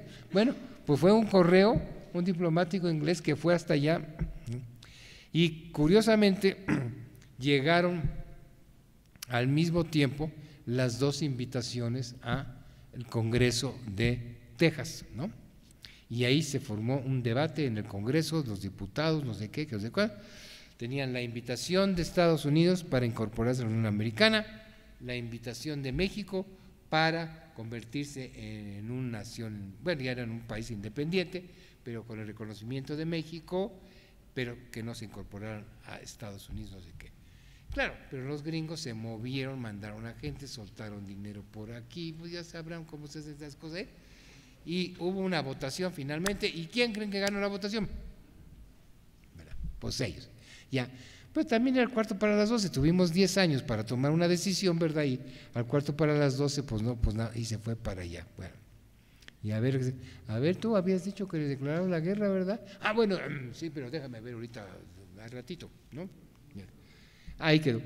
Claro que con nuestro ofrecimiento de declararles de guerra nos hicimos tarugos, ¿verdad? A ver, porque, aviéntate el tiro, ¿no? Qué barbaridad, esto es una infamia, que no sé qué, wiri wiri, bueno, no sé qué. Pero esto tuvo consecuencias importantes para la política de Estados Unidos que se tradujeron en importantes consecuencias para nosotros, porque bueno, se resolvió finalmente después de 10 años el problema de Texas, se convirtió en el estado más grande de la Unión Americana, ya se fueron para allá, ya lo habíamos perdido hace 10 años, así que no fue ninguna sorpresa ni nada por el estilo. Pero ¿qué pasó? El que se quedó bien encabestrado con este asunto fue este chango, que a pesar de que este se anotó el triunfo de haber incorporado a Texas a la Unión Americana. ¿Habían oído, ustedes oído hablar de John Tiller? Es, ha sido un presidente oscuro. Bueno, pues él fue el que tuvo ese mérito, pero pasó totalmente desapercibido, ¿no? Pues aún con eso ganó las elecciones Polk, resultó electo, no sé qué. Y entonces dijo, ah, sí, me quitaron la posibilidad de adornarme con la estrellita de Texas, pero hay otros territorios por ahí y el que me interesa más que nada es California. Así que California va a venir para acá y yo había ofrecido en la campaña, como ofrecí en la campaña que Texas y ya me la quitaron, pues ahora va a ser este, California. Y también había ofrecido Oregon, así que por ahí viene Oregon. Bueno, y entonces el plan que diseñó el señor Paul pues, fue siniestro, así que son, son nuestros vecinos, así ya saben cómo actúan, ¿no? Pero claro, nosotros somos una república democrática, the land of the brave and the free, todo esto. No vamos a hacer una guerra de conquista de esas feas que hacen los reyesuelos europeos, los emperadores y no sé qué, no sé cuándo, de qué. Simple y sencillamente vamos a provocar que los mexicanos inicien un conflicto para hacerles la guerra. Y eso fue lo que hicieron. El problema que se vino a continuación, ya Texas pasó a la Unión Americana, el problema fue definir la frontera entre México y Estados Unidos, que ya incluía Texas, etcétera, etcétera. ¿Entienden? Bueno. Y entonces ahí inventaron una argucia canallesca y demás. Los gringos sostuvieron que la frontera entre Texas y México era el río Grand, que ellos llaman el río Grand, el río Grande o el río Bravo. Y México, que desde la, bueno, desde la colonia tenía los mapas y demás, decía, no señor, a ver, aquí está, la frontera entre Texas y el resto de la República Mexicana es el río Nueces, no es el río Gran. No, a ver, ¿cómo está eso? Bueno, pues aquí está. Y vean que no era cualquier cosita, era un pedazote, pero por cuestiones este, estratégicas y demás, pues vieron que convenía más que este río, que es más grande y caudaloso, fuera el que definiera la frontera, no sé qué, y se armó ahí un lío de que no sé qué. Y entonces México mandó a su gente a poner las mojoneras, que así se llaman, que son las piedras, este, en el río de las nueces. Y los gringos mandaron a poner las mojoneras en el río Bravo. o sea, para efecto práctico, los gringos estaban en territorio mexicano. Y ahí pasaron varios meses ejércitos de un lado y ejércitos del otro, viéndose todos los días, no sé qué, y muy a la gringa, llegaron los gringos, construyeron un fuerte ahí, no sé qué, y todos los días se hacían honores a la bandera enfrente de los mexicanos y demás, no sé qué, estaba la situación, no sé, hasta que se tuvo que decidir, hicieron una escaramuza. Argumentaron que se había perdido un teniente de apellido Cross, que quién sabe qué le había pasado, que dónde estaba, y entonces enviaron un contingente de 60 soldados a buscarlos, pero para buscar, que buscarlo, tuvieron que cruzar entre las líneas de las tropas mexicanas. ¿Y qué creen que pasó? Pues digo, pues los agarraron a balazos, ¿verdad? Y los mataron. Y entonces el comandante que estaba ahí, ¿verdad? Pues que era este, ¿quién era? Taylor. Este mandó un informe a Washington diciendo las ah, las hostilidades se han iniciado porque México derramó sangre americana en suelo americano. ¿Qué les parece? Esos son nuestros vecinos. Esos son. Claro, todo lo tienen que justificar, porque si no, no lo hacían así, ¿Por qué el Congreso? Ay, porque ellos pues saben la democracia y las leyes y la constitución y wiri wiri. Necesitaban un buen pretexto, ¿no? Entonces no va a decir, ah, ya podemos invadir México así. ¿Y por qué? Pues nada más así. No, no, porque ya derramaron sangre americana en suelo americano. Imagínate, eso es insoportable. Entonces, ok, ah. Y entonces fue ahí, mandó la eh, solicitud al Congreso Paul y se aprobó de inmediato la declaración de guerra en contra México y no sé cuándo, y se iniciaron las hostilidades. Y ya tienen la forma en que se iniciaron las hostilidades. Y como pueden ver, pues miren, ahí ah, hubo, se atacó directamente hacia arriba, pueden ver Santa Fe. A ver, ¿qué demonios? Si el problema era en Texas, ¿qué tenía que ver Nuevo México en el asunto? Pues no, directamente se fueron y atacaron Nuevo México. Y vean acá, ¿qué tenía que ver en el asunto California? Y directamente fueron y atacaron California. Y claro, también atacaron por abajo, ahí pueden ver, el territorio de Texas y demás. La idea era apoderarse de Nuevo México, y ya, Texas pues ya era de ellos, ¿no? Pero era apoderarse de Nuevo México y apoderarse de California, y, claro, y no fue nada difícil porque esos territorios estaban despoblados, desprotegidos, no hubo... Los Ángeles fue defendida por los ciudadanos locales, ¿no? a piedras con machetes o con escopetas, no sé qué, pero los derrotaron y no sé cuánto, no sé qué, y comenzó pues la invasión y se apoderaron de todo aquel territorio. ya habiendo apoderado de lo que querían, que era California y Nuevo México, pues ya lo que querían era firmar un tratado de paz en el cual pues se consagrara que México cedía esos territorios de Estados Unidos se los vendía por 15 millones de dólares. Pues así son las cosas legales, ¿no? Pues no es arrebatar o quitar, no, no, señor, no, no, aquí nos vamos a pagar 15 millones. Ok, pero el problema llegó un momento en que los mexicanos no se rendían, a pesar de que ya los territorios estaban ocupados, pues seguían ahí echando balazos y no sé qué y no igual, y no aceptaban firmar un tratado de paz y no sé cuándo. Polk empezó a recibir serias críticas en Estados Unidos porque había ofrecido que iba a ser una guerra, un blitzkrieg al estilo hitleriano, rápida y fácil y económica. Y ya había pasado, pues eso se inició en 46 y ya estábamos en 47 y la guerra no se terminaba. Y ojo, fue una de las guerras en que en términos proporcionales Estados Unidos, su ejército tuvo un mayor número de muertos pero todas esas muertes no podemos atribuírselas al éxito de las fuerzas de resistencia mexicanas, sino al medio ambiente que nos ayudó.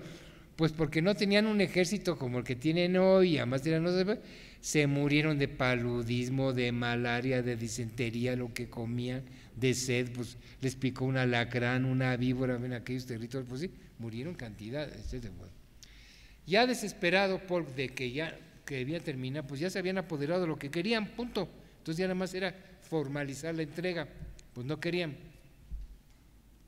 Entonces desesperado mandó un espía español que se apellidaba Tocha a La Habana, Cuba, a La Habana, Cuba, ¿por qué a La Habana, Cuba? Porque había habido un golpe de Estado y se había exiliado su Alteza Serenísima en La Habana y envió al espía este a hablar con él y entonces habló con él, se entrevistó y le dijo, oye general, mire, qué, molestia, qué pena esta guerra, no sé qué tan injusta. Pues sabe que nosotros queremos mucho a los mexicanos y no queremos que pasen estas cosas. Y wiri wiri, pero ya queremos firmar la paz, pero sus ciudadanos no, no, no, no acceden y no sé qué. Con el cinismo que lo caracterizaba el señor general Santana, digo, ay, mire, Dense cuenta, para que México acepte, los mexicanos acepten firmar un tratado de paz y se rindan, bueno, necesitan ustedes tomar la Ciudad de México. Así son las cosas, así funciona. Es un país muy centralizado. Entonces, mientras no tomen la Ciudad de México, no se va a acabar la guerra y va a seguir escaramuzas. Así, tranquilamente.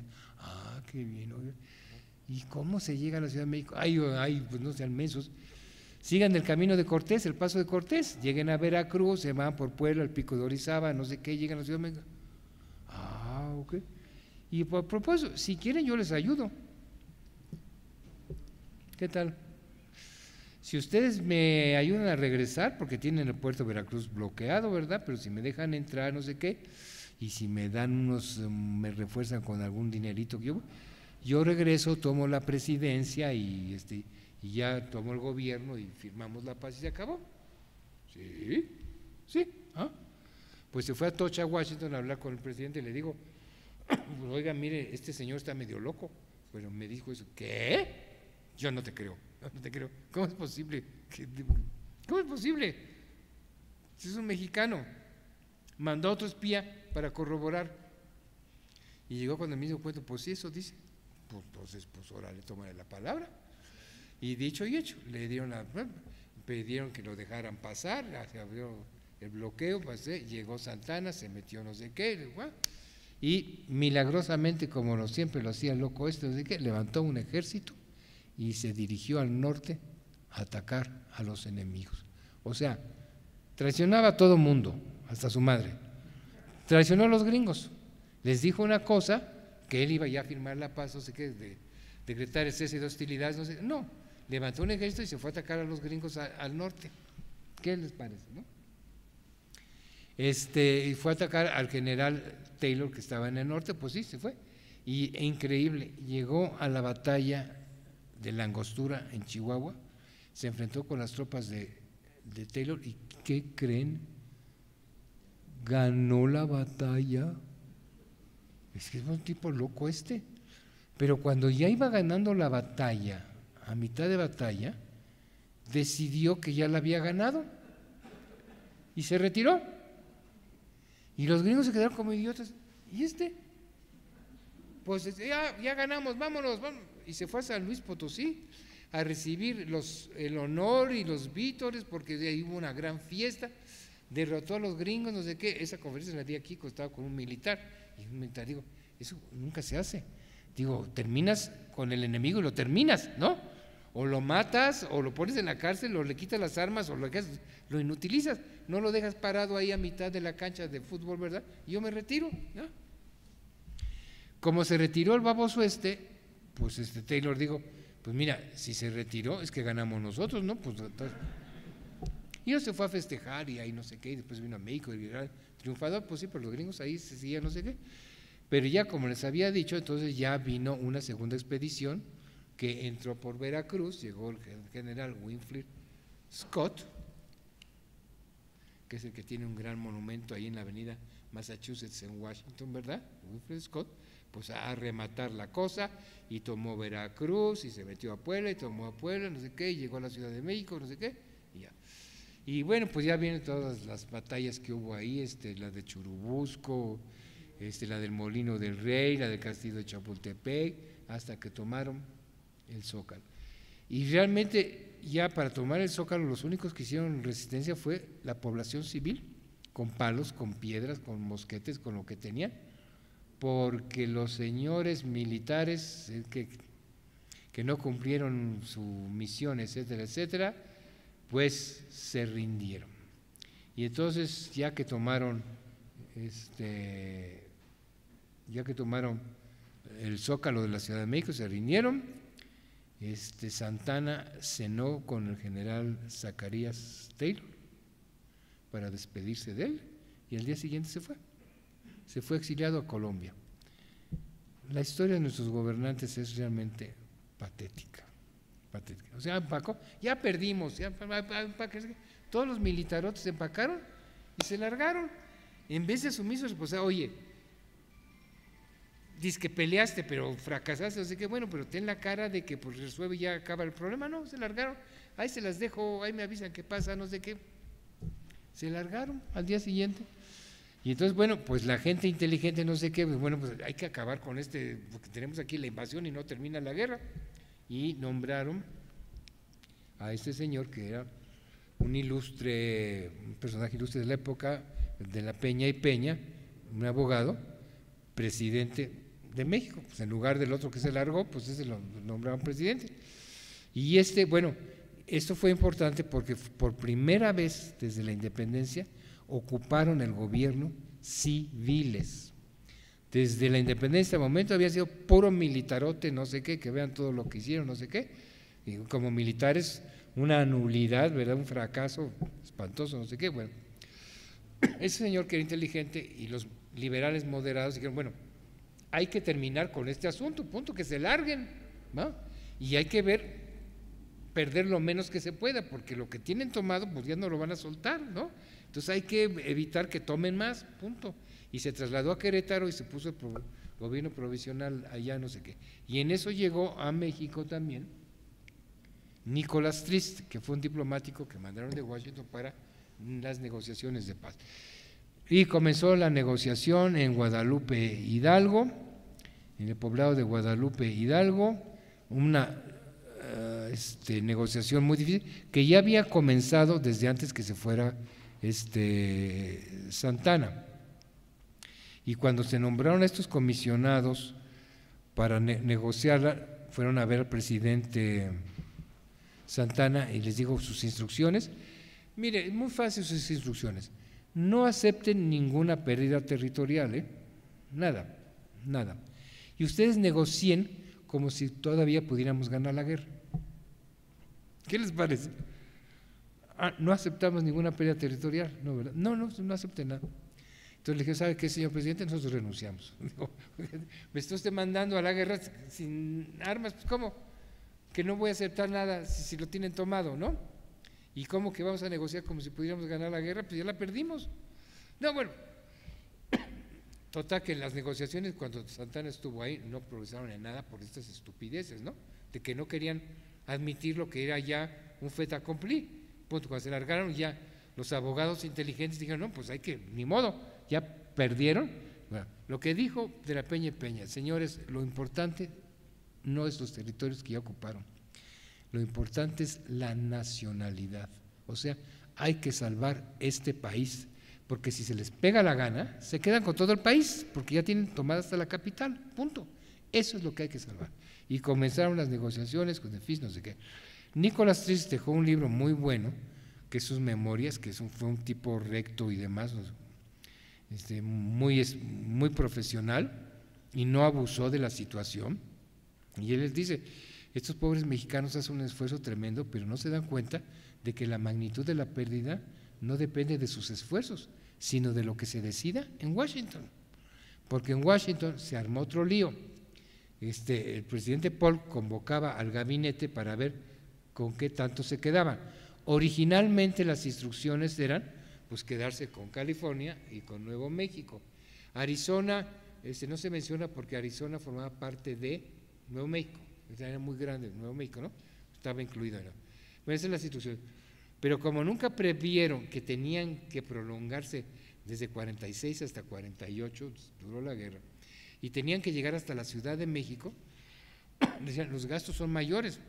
Entonces ya la pérdida no debe limitarse a Nuevo México y a California, sino que, ¿saben qué? Chihuahua está bien, y este Tamaulipas está bien, y este Sonora también y la Baja California también, no, no, una rebatinga. Cuando les dijeron a los negociadores el precio de la paz, dijeron que qué, era la mitad de todos los territorios del norte, Chihuahua, Sonora, Tamaulipas, este Monterrey, no sé la mitad se iba para allá. ¿Pero cómo? No, pues sí, pues sí, no sé qué, pues que se prolongó mucho la guerra y hay muchos gastos y que no sé qué. No, no, no, pues eso no. Que no. Entonces fue tremendo, tremendo, de veras estos negociadores no se les ha reconocido el mérito, digo, salvado lo, que pudieron, pero la pérdida, digo, había un movimiento en Estados Unidos que se llamaba Old Mexico, querían todo el país, pero los políticos inteligentes dijeron, bueno, ok, nos quedamos con Nuevo México, está re bien, nos quedamos con este California, está re bien, porque no hay mexicanos, Chihuahua, pues hay unos que nos podemos absorber, Tamaulipas, igual Nuevo León, pues también, ¿no?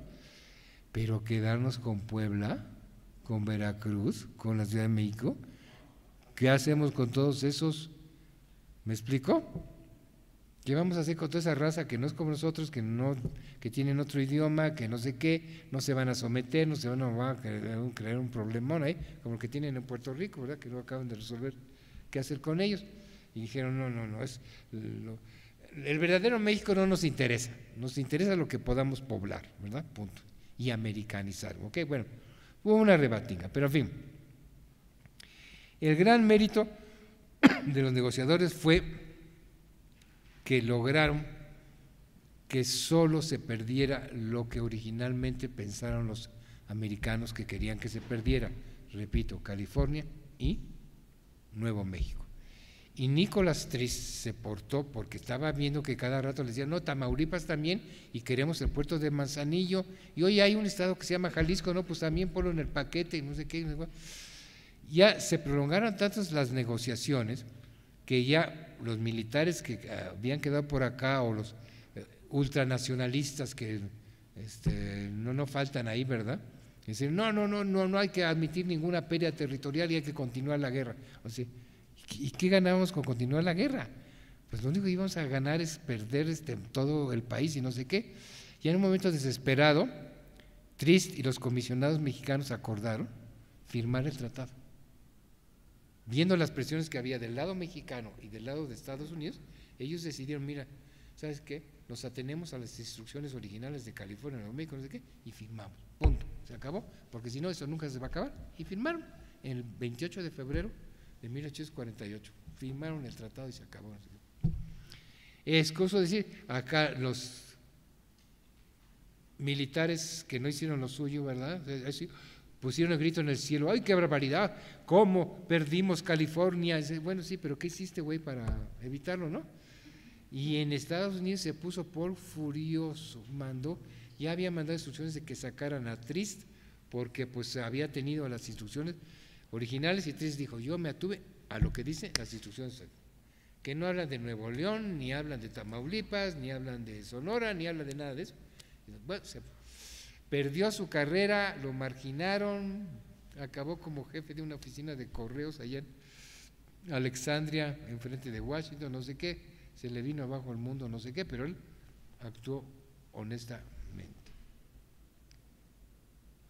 Bueno, ahí tienen la ocupación de la Ciudad de México por el general Winfield Scott en septiembre de 1847.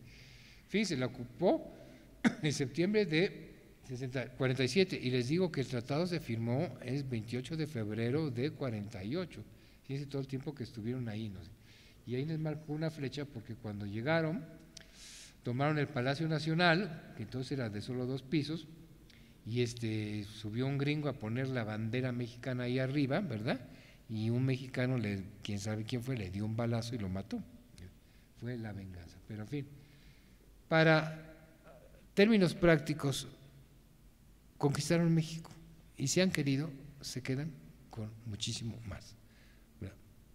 No ocurrió, no nos salvó la situación y demás, pero pues quedó el expansionismo americano pues, este, pues colmado y aquí tienen la imagen del Tratado de Guadalupe Hidalgo, este creo que es el mexicano, pues uno está en México y el otro está en Washington, demás, y aquí tienen ustedes pues la inmensa pérdida territorial, lo que se llevaron fue dos millones quinientos mil kilómetros cuadrados, o sea, la mitad del territorio original del país. Y les repito, Gracias a los negociadores no se perdió más y además algo muy importante, salvaron la Baja California. Y no solo la lograron salvar, sino que salvaron que estuviera comunicada por tierra con Sonora, porque vieron que si quedaba incomunicada por tierra y solo por mar, pues se la iban a llevar. Creo, que de todas maneras ya se la están llevando, ¿verdad? Porque está lleno de turistas gringos. Pero de todas maneras lograron que tuviera esa, esa comunicación, no sé qué. Bueno, ahora, en ese mismo año, los ingleses pues se dieron cuenta de que estaba en tremendo peligro Oregón, ¿verdad? Porque era lo que faltaba. Y con gran pragmatismo dijeron, señores, señores gringos, ustedes quieren Oregón, porque además Oregón ya estaba como Texas invadida de squatters, ¿no? Esos que llegaban en sus carrozas ahí como ven las películas, ahí con la familia y el niño. Ya lo tenían invadido. ¿Lo quieren? Ahí está. Se lo regalaron, punto. Para tener una frontera perfectamente delineada con Canadá. Y eso es lo que ha permitido que Canadá se salvara de ser absorbido, ¿no? Pero pues con un gran realismo dijeron, no, pues si no se los damos va a haber una guerra y si puede peligrar parte de Canadá y no sé qué, mejor que se lo queden y ya se queden tranquilos, no sé qué. Y ya de remate les digo, bueno, pues lo que siguió fue en 1867 que compraron Alaska, que originalmente fue un territorio que la expansión rusa fue la única que fue en sentido opuesto, pues ellos vinieron de Asia hacia el continente americano, cruzaron por ahí y ocuparon Alaska y de ahí se fueron por la costa de Canadá, Estados Unidos y llegaron hasta San Francisco donde tenían factorías porque explotaban recursos naturales como focas y pieles, no sé qué, pero tenían ahí Alaska. Pero en 1867, como ya no le vieron mucho interés de los zares, pues este, no me acuerdo cuál fue el zar que lo vendió, pero está ahí su cara, se los vendió a los gringos. Otro error. Imagínense la Guerra Fría, si los soviéticos hubieran tenido la posesión de Alaska. Hubieran temblado los gringos porque hubieran tenido los misiles nucleares ahí en Alaska apuntados ahí abajo, ¿verdad? Y luego de remate, esta fue la última pérdida territorial que tuvo México frente a Estados Unidos, que fue en el 1853, que fue la llamada la Gasden Purchase o la Mesilla. Y tal, ¿saben para qué? Fue una cosa practiquísima, porque ya que se habían apoderado de esos territorios, lógicamente había que comunicarlos. Y como comenzaron a construir el ferrocarril transcontinental de Nueva Orleans hasta California, San Diego y Los Ángeles. Pero en la mitad por Nuevo México se encontraron con un chipote que le tenían que dar la vuelta, porque así había quedado la, la frontera con México, como pueden ver, arriba y luego bajaba. Y entonces ellos tenían que dar, subir el ferrocarril por arriba y volverlo a bajar. Y oye, eso es costar mucho dinero, ¿verdad? ¿Por qué mejor no comprar ese territorio? Entonces, para simplificar los gastos, pues se acercaron al gobierno. ¿Y quién creen que gobernaba en ese momento? Le dijeron, señor, mire, queremos comprar este pedacito que está ahí, que no es cualquier cosa, 70 mil kilómetros cuadrados. ¿eh? Y este, ahora, Santana ya había entendido, si les digo que no, va a haber una guerra y se van a llevar todo el estado de Sonora, ¿verdad? Así es de que, sí, ok, bueno, pues entonces lo vendieron ahí. Bueno, en 1953 ahí tienen un timbre conmemorativo y demás. Y luego ya, ahí tienen las islas de Hawái y demás que se compraron en 1894, en 1898, en 1959. Esta fue la última reina del el independiente Hawái, que fue el Liliukulani, la última reina, que pues los colonos gringos se alebrestaron y la destronaron, no sé qué, y ya se volvió un estado eso, no sé qué, y lo que finalmente compraron fue las Islas Vírgenes en 1917.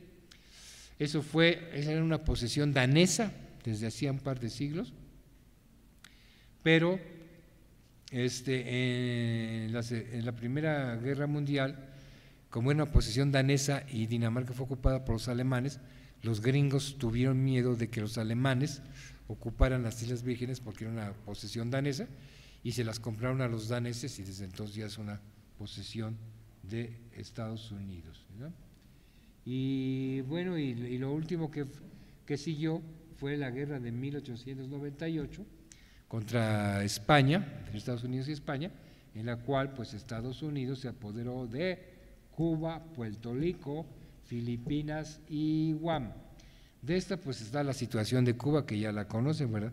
Finalmente pues lograron liberarse no sé cuánto al principio se convirtió en un protector. Ellos ayudaron a los gringos a sacar a los españoles, pero se quedaron y dejó de ser una colonia española para ser una colonia gringa. Fue un protectorado militar hasta que, y bueno, y después lo disfrazaron porque ya hubo presidentes cubanos elegidos ahí, pero todos eran dependientes de Estados Unidos. Hasta que llegó la revolución del comandante, ya saben, eh. Castro y ya los echó fuera, y claro, y para echarlos fuera, pues invitó a los soviéticos. Entonces pasó a ser Cuba una colonia de los soviéticos, que pobre país, nunca ha sido independiente, ¿no? Y bueno, Puerto Rico, pues este es Estado Libre Asociado, que no se decide ahí qué es. Filipinas ya también, pues ya tuvo un estatus de independiente, y Guam sí es una parte de Estados Unidos, etcétera, etcétera, y así.